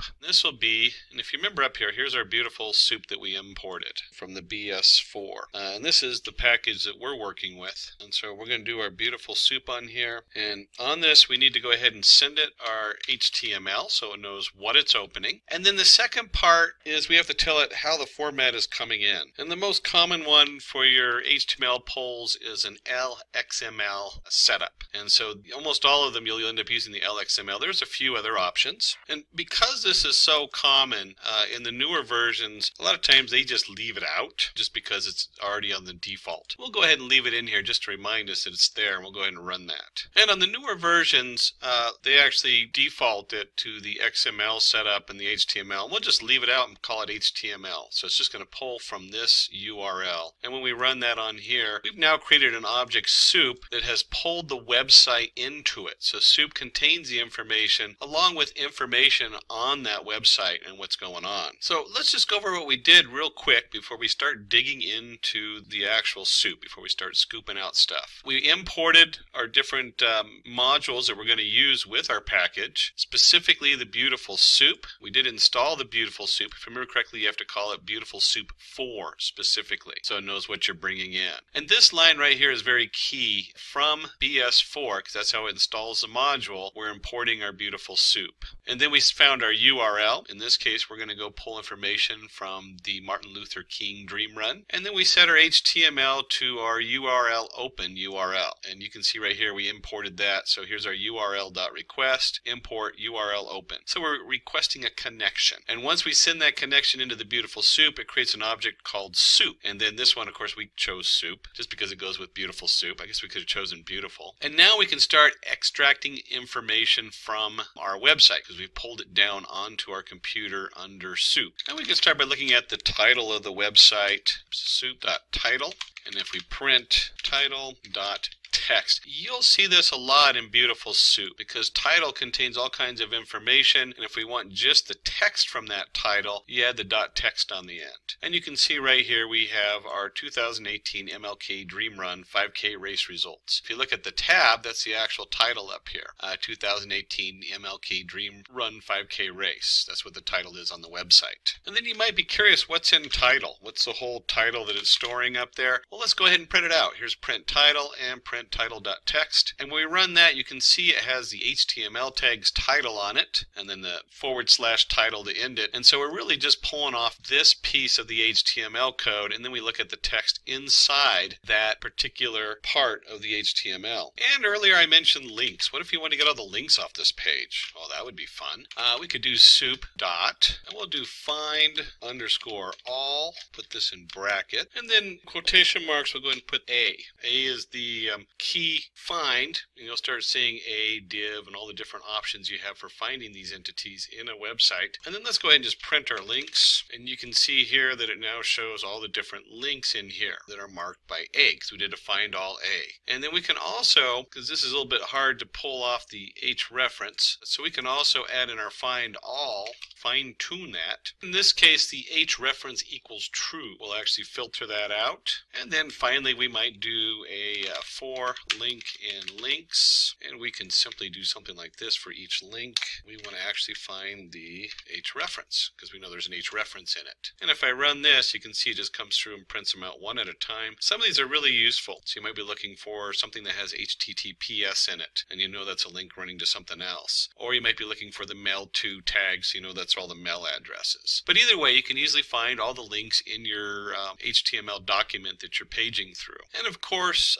um, any packages that have evolved over time, you can also do link.get hrefs, which should do the same thing as our other format. And you can see it certainly does. We get the same printout up here. In this particular case, we really want to get the data off the page. Uh, so let's go ahead and do that. Let's see what that looks like. And in data, let's call it all rows. There we go. Equals. And then we have our soup dot find underscore all. There's our brackets. And then if we're looking for each row in a database. You'll remember your HTML code. We're looking for the tag TR. So we want to find all TR. And we can take this, and let's go ahead and just take all our rows and do a print all rows. And about this time, you're going to guess that we're going to get a huge amount of information just dumped onto our page. And sure enough, we do. If you look at this, it just kind of goes on forever. But this is an array. Each row is considered an array. So because of that, we can do something simply as putting brackets and just print the first. Let's do the first five rows. So uh, from beginning to five. And you can see here's our first five rows on here. I sometimes like to just do,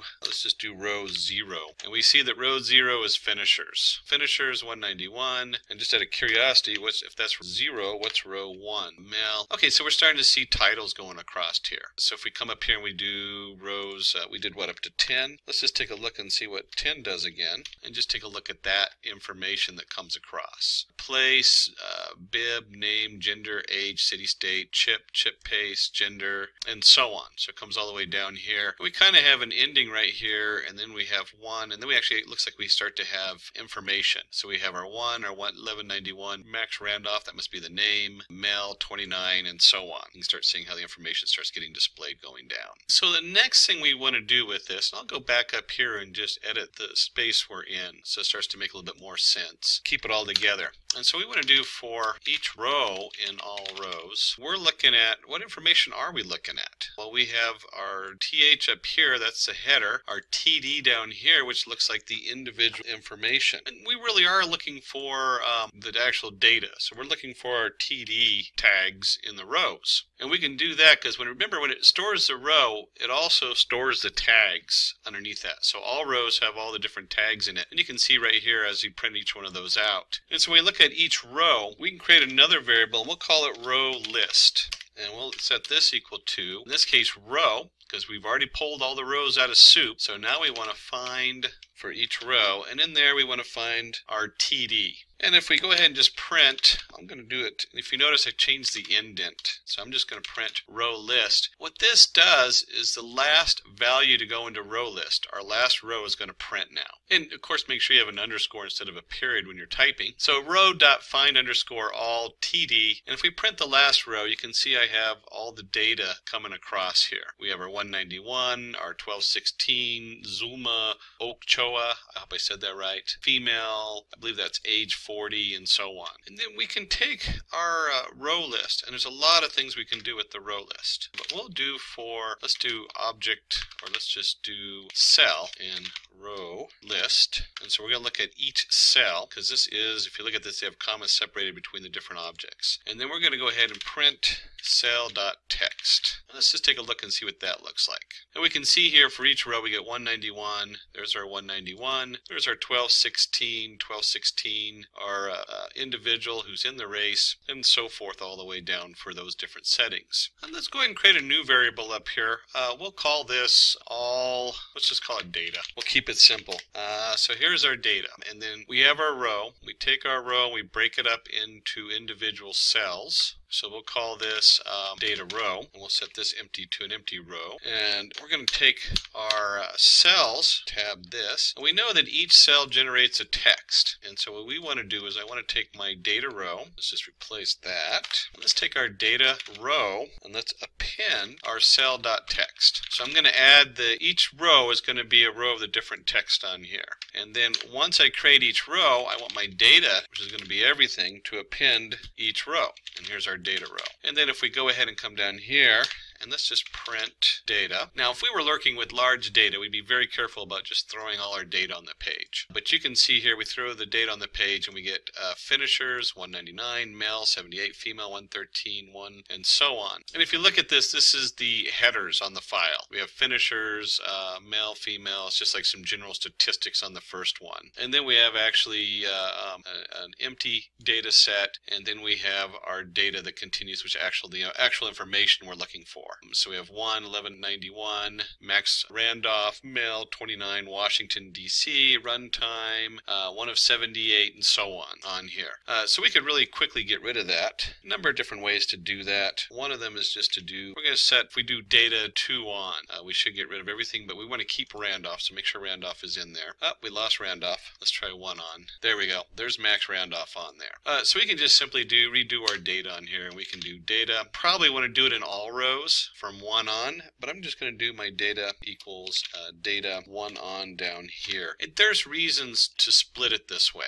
In data science, sometimes you don't want to touch the original data in case you need it, in case we do need the first row. So we'll put it down here, and uh, maybe we'll just call this titles. Titles equals data of 0. And so we could do something here where we print, we'll print up our titles, and we'll print our data. In this case, instead of 1 on, let's go minus minus 2. Let's look at the last two rows of data. So here we have our titles, and uh, for some reason just put in uh, finishers of 191. I was expecting a little bit more up there. And we have our last couple people, and they look like the data on these looks just fine on here. Turns out this is just some generic statistics up here. So we'll get rid of titles completely. It doesn't really do us any good. But we know that data comes in here, and we can look at our data and look at the very end of the data too, the minus 2 to the end. And we can see it pulls the data in pretty good. We don't have too funky in here we're looking at. It looks pretty clean. Now you got to be a little careful because at some point we might have to come back here and clean up the data if we get an error for running uh, data analysis. We might find out there's some unusual characters or something is misset in the data itself. And you also notice that everything is a string. So when we're bringing it in, we might have to do some conversions to test it out and convert them to whatever kind of data format we're working with. So at this time, we want to go ahead and bring in our pandas. Um, and let's go ahead and call this df for data frame. We'll set it equal to, and if you remember correctly, we imported pandas as PD, and that's standard. You'll see that in most code examples where they call they import pandas as PD, um, and it is capital D capital F for data frame. And we're just going to bring in our uh, data. That's what we called it on here. And let's uh, take this and we'll print. Now when you're working with data frames, you're usually talking large amounts of data. And so you almost never want to print the whole data frame out. Uh, we're going to go ahead and do that anyway, just so we can see what that looks like. And you can see in here, brings in our uh, data frame coming in here. We just have a mess of information. This is our data. Let's go ahead and print df and see what that looks like in the data frame. And this is nice because it organizes it into a very easy to read table. And we have, uh, they set the label 0, 1, 2, 3, 4, 5, 6, and so on. And then we have each row. Uh, we have Mel, uh, 78, none, none, none, none, none, going across. When we get all the way down here, we'll see Max Randall about number three. And the first thing this does is this flags me that I brought in a bunch of information up here that we really didn't want. Uh, it's from 3 on that we want. And we can clean this up in one of two ways. Uh, we can try to clean it up under the data, or we can clean it up under the data frame, depending on what it is we're trying to do. And so to fix this, um, I want to go ahead and just change it up here in the actual data pull in. We don't need that information. So I'll rerun it, reload our data from 4 on, and then when I run this, we see we have Max Randolph is right at the top of the list like he should be, and we have all the data going down. Now with the data frame, remember I said we don't usually print the whole data frame. We'll go ahead and do df.head. And this prints the first five rows. And you can see that we have uh, 13 columns. Here's Max Randall all the way to Theo Kinman. And I usually also print df tell. And the reason I like to do these particular two setups, and I'm going to change it just to two rows, because you can do that, you can print as many rows as you want, is it's good to look at the first part and the end, because those are usually where you have extra data brought in, uh, something's messed up. And you can also see that we have 190 rows in here. And it comes in with our uh, Zulma, Lisha, and they're both on here on the list. So now we have a nice data frame, uh, columns and rows. We can easily look at it, we can see the setup on here, and we can look at the names and everything. Now, at some point, you might be looking at these individual columns and find different information that needs to be re-edited.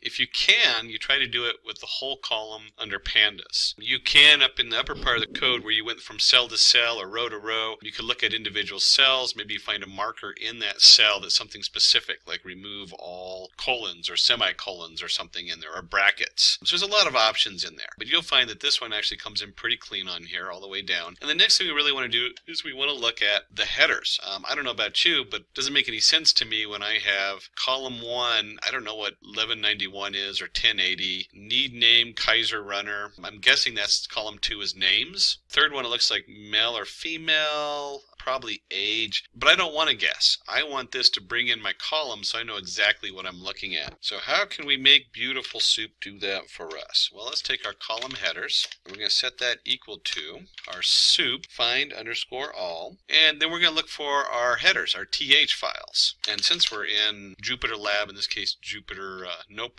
I can just type out column headers. If it's the last variable I have listed, it will automatically print it. So it's kind of a shorthand. And we can see right here, we have place, I'm guessing that's bib, name, gender, age, city, state, chip time, chip pace, and so on. So we have all our headers right there. I shouldn't have to type them all in. And we'll go ahead and do it before. We'll go ahead and do a uh, header list equals our um, empty array.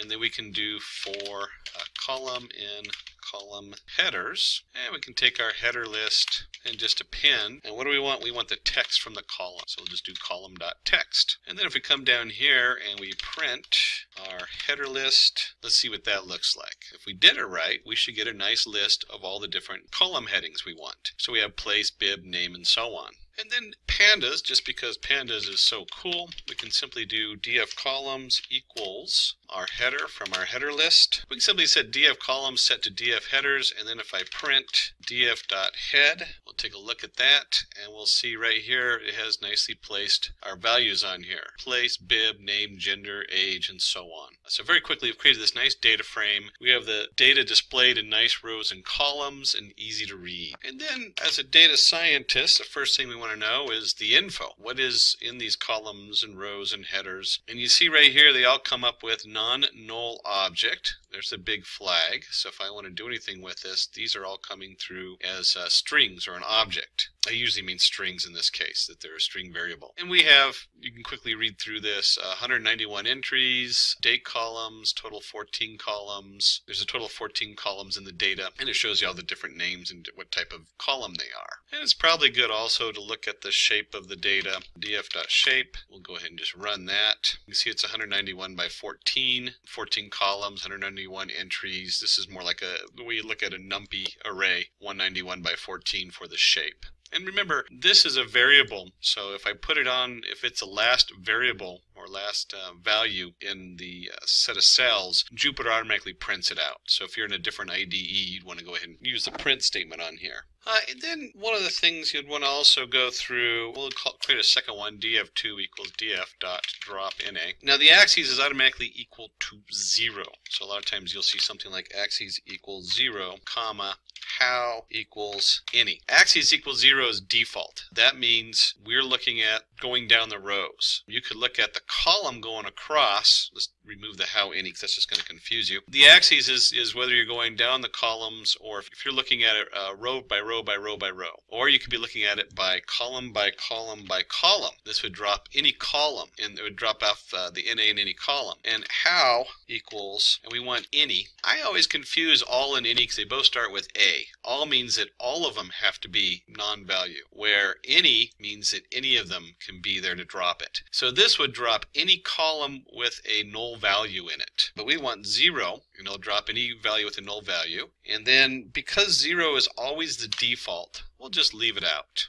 And then it's curious as to what the shape is now. Did we lose anything? Was there any null values in our df2 that we dropped from the df? And we'll go ahead and run that. Uh, and we see 191 and 14. So we didn't really drop anything. But it's always good to check. There's other ways you can also do, are there, let's see, any NAs, you can detect NAs in here. Null values, infinite values, that's another one you got to watch out for. We're working with data that we're going to do something with here in a minute, so you got to be a little careful also in the conversions. Are you going to convert something where people typed in weird characters to describe the data a certain way? So now we've got to this point where we have all our different columns, we have our different data, and um, at this point, maybe you're asking, or maybe the um, shareholder of the company is asking, hey, can we look at the, um, based on the chip time, here's our chip time, can we plot that versus gender? How does gender versus chip time compare? And so we can do that. We can take that. And the first thing we look at is we say, hey, well, chip time came in as a string, and that's going to be an issue. Now, there's a number of ways you can change this. One of them is we could go all the way back up here where we created the data and find a way to tag it and say, hey, whenever um, this cell text,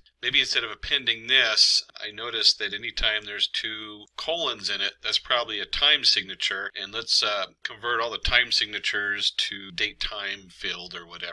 A lot of times you don't get that. Uh, you don't get that option. And that's always a question in bringing in data. Whether you convert the data coming in at the beginning, or do you wait till you have it, open it up, and then convert it when you go to use it. Uh, we're going to go ahead and convert it after we got it into our data frame. So we have our DF2 here. Uh, we've dropped all of our NAs. We dropped our, we have a shape. Um, in fact, let's do this since there's no difference between DF and DF2. Well, we'll just go ahead and use DF2. Uh, so let's go ahead and take our DF2 and we want to take those that specific field and convert it into some kind of numerical value we can use. And let's add another column. Uh, a lot of times this is uh, something you want to do is where you want to go ahead and keep all the original columns and just add a new column in there. And this new column is going to be based on the, if we remember correctly, we had chip time. That's what we're going to look at. Okay, we want chip time versus gender. If we go into our pandas, we find out we have uh, pandas 2 delta, and this is actually time delta. And then we just want to take our df2,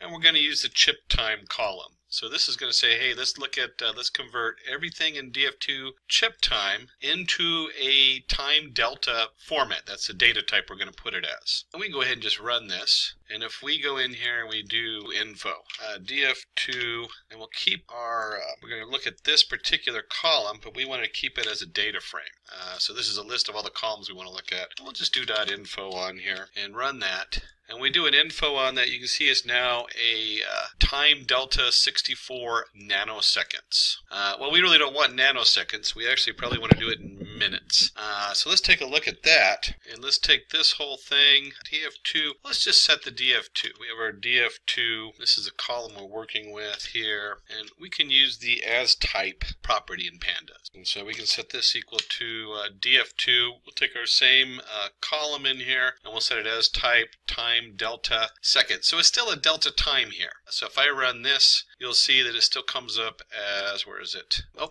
it turns it into a float. So we're now at a float 64, so it's a number of seconds in that delta time. And then finally, uh, we want to go ahead and turn that from seconds to, say, minutes. And, you know, there's 60 seconds in minutes, and so now we divide by 60, we still have a float. We have our info that shows us as a float, and then we can go ahead and just do a uh, print df2, and let's just keep it small we don't want to look at all our data. We just want to do the head of it. And we run this and you can see right here where we go to, it'll be the last one. Here's our chip time in minutes. And a lot of times, uh, just to make life easy, for viewing, since we're only looking at this particular element, uh, we can do chip time in minutes. And now we just see that, oops, we take off. We'll go ahead and take off our info. Done with that. And we'll run this. And you can see we have our minutes. 16.8 minutes, 17.51 minutes, and so on. It's a float number. Now keep in mind, this is 0.8. That's not 16 minutes and 80 seconds. That They can always throw you if you're going through so many numbers you forget. So important to remember that. And we're also going to look at, uh, the other one we're looking at is what? Gender. You want to look at gender to chip time in minutes. And so we can see here under the head, we get uh, male, male, male, and a number of different setups. And let's switch this to tail real quick and just look at the uh, end of it. And here we have female, female, male, female, female. So we have two different genders and we have our chip time in minutes. And if you remember, we brought in our PLT. If you haven't used the plot library, the matplot library, you have a drawing place you're putting stuff on. So we have our PLT, we're going to do a bar graph, and we just want to simply use use our DF2 gender and DF2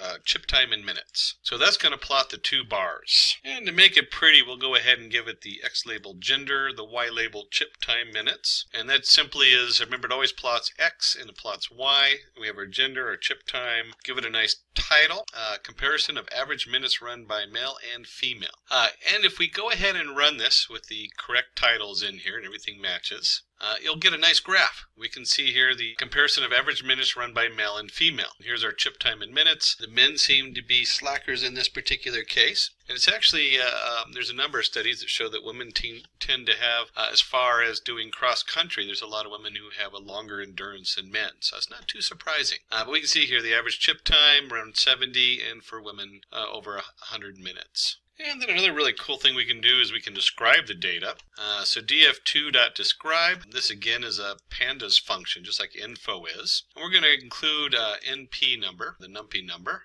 And if we run that, you'll see here it comes up and it says uh, chip time in minutes, uh, count, it gives you the average or the mean, standard deviation, the minimum, the maximum, um, all the different descriptive information you're going to want from your data set on there. And just because there's all kinds of fun ways, uh, let's do a box plot to display your information. Uh, we can do a box plot where the column equals chip time in minutes. And let's go ahead and run that. Keep uh, mistyping my chip time in minutes. And you can see it puts out a nice uh, box plot showing you the information. We have our uh, different values and floaters. And this is always interesting because this is a nice way of seeing where we have these uh, floaters, one up here and there's two up above. And of course your, um, your nice spread on the box plot. And we can also modify this a little bit and we can add in uh, by equals gender and then we'll give it a we'll just give it a blank title. I don't know why we're giving it a blank title. Uh, we'll just add a Y plot Y label on there for runtime. And if we run this you can see here box plot grouped by gender chip time in minutes and now we have our female and male two different areas. And you can see how they vary. You have your two different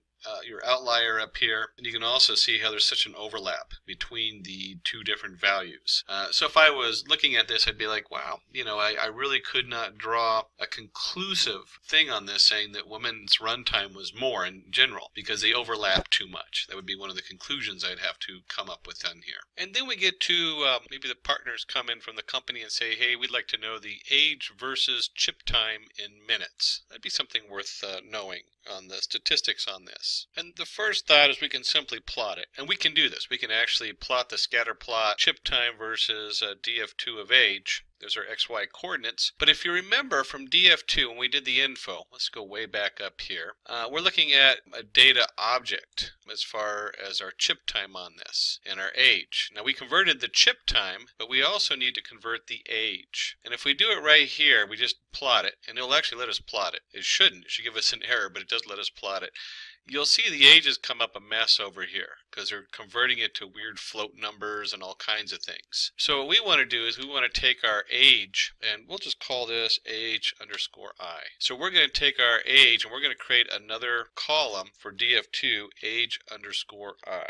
And the i is just going to stand for integer. It's our own choice of values. There is a number of ways to do this, but we're going to do uh, pandas to numeric is the best way in pandas. And the reason we're doing this is that numeric creates a float value. Uh, so right off the bat, we want all our stuff converted. It converts it to the least common denominator. So if they're all integers already, you'll get integers. As you can see from here, it's doing some kind of conversion that converts it to a float value. The other thing that numeric does is if there's a null value or they put in like a blank line or a dash to represent no information, uh, it'll convert it to a uh, null. Uh, so it goes from like a string to a null versus just having some kind of made up number that Python somehow created for the graph we have below. And then we want to add our df2 age because that's what we're converting to numeric and then we want to coerce it.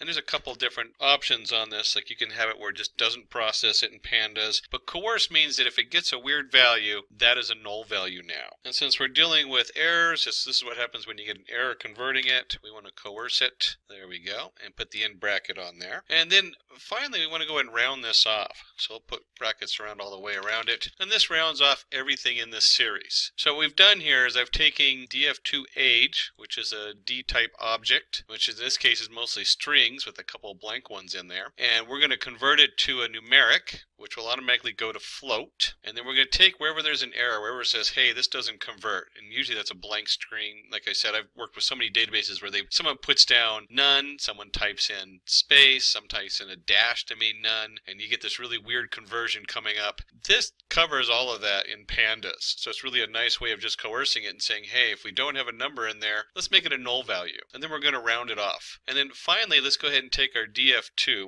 Uh, here's our df2, and let's drop those null values. Drop na. And we want how, how equals any. So that means if there's any null values in the data set. Now you can be, this might get you in trouble because you might have null values in a different column. And so you might lose uh, data that way. Um, at this point, we could also do like certain parts of like drop just certain columns with null values. There's all kinds of other options in here. But we're just going to do how we're going to just drop any. And we want to do it in line equals true. So that means it's going to reassign it to um, df2. Uh, so df2 now has uh, rounded out. So it's rounded to the integer. We didn't do any places the age, and it's going to be age i. And then we've dropped all our null values. That way we're not going to get any errors when we try to plot a null value. And it also makes sure that data, uh, by deleting out the rows, because that's what this does, it automatically does axis 0, which is your rows, axis 1 is your columns. By doing this, it automatically removes all the rows with null values. Uh, so it just cleans out the rows. And then when we go ahead and plot this, we see we have a nice clean data, and we have age all the way up to 70. Uh, so we have our chip time set, and then our age going across. And it makes a nice plot that you can easily show uh, for display and for the, the um, and you can easily show that to your shareholders or whatever group you're working on. It makes a really nice and quick, easy display. And with that, uh, thank you for joining us today, you know, for uh, a quick look at the beautiful soup and the web scraping tools in Python. Again, thank you for joining us with Simplilearn. This is www.simplilearn.com. Get certified, get ahead. Richard Kirschner, have a good day, happy learning, and uh, look to see you in classes. If you have any questions, feel free to post them on the bottom of the YouTube. We do go back and look at those questions and answer them. And you can also visit us at our website. We have a number of different communities and forums there where you can ask questions concerning programming, web scraping, data science, uh, and just about any kind of certification program out there you can imagine. Hi there, if you like this video, subscribe to the Simplilearn YouTube channel and click here to watch similar videos. To nerd up and get certified, click here.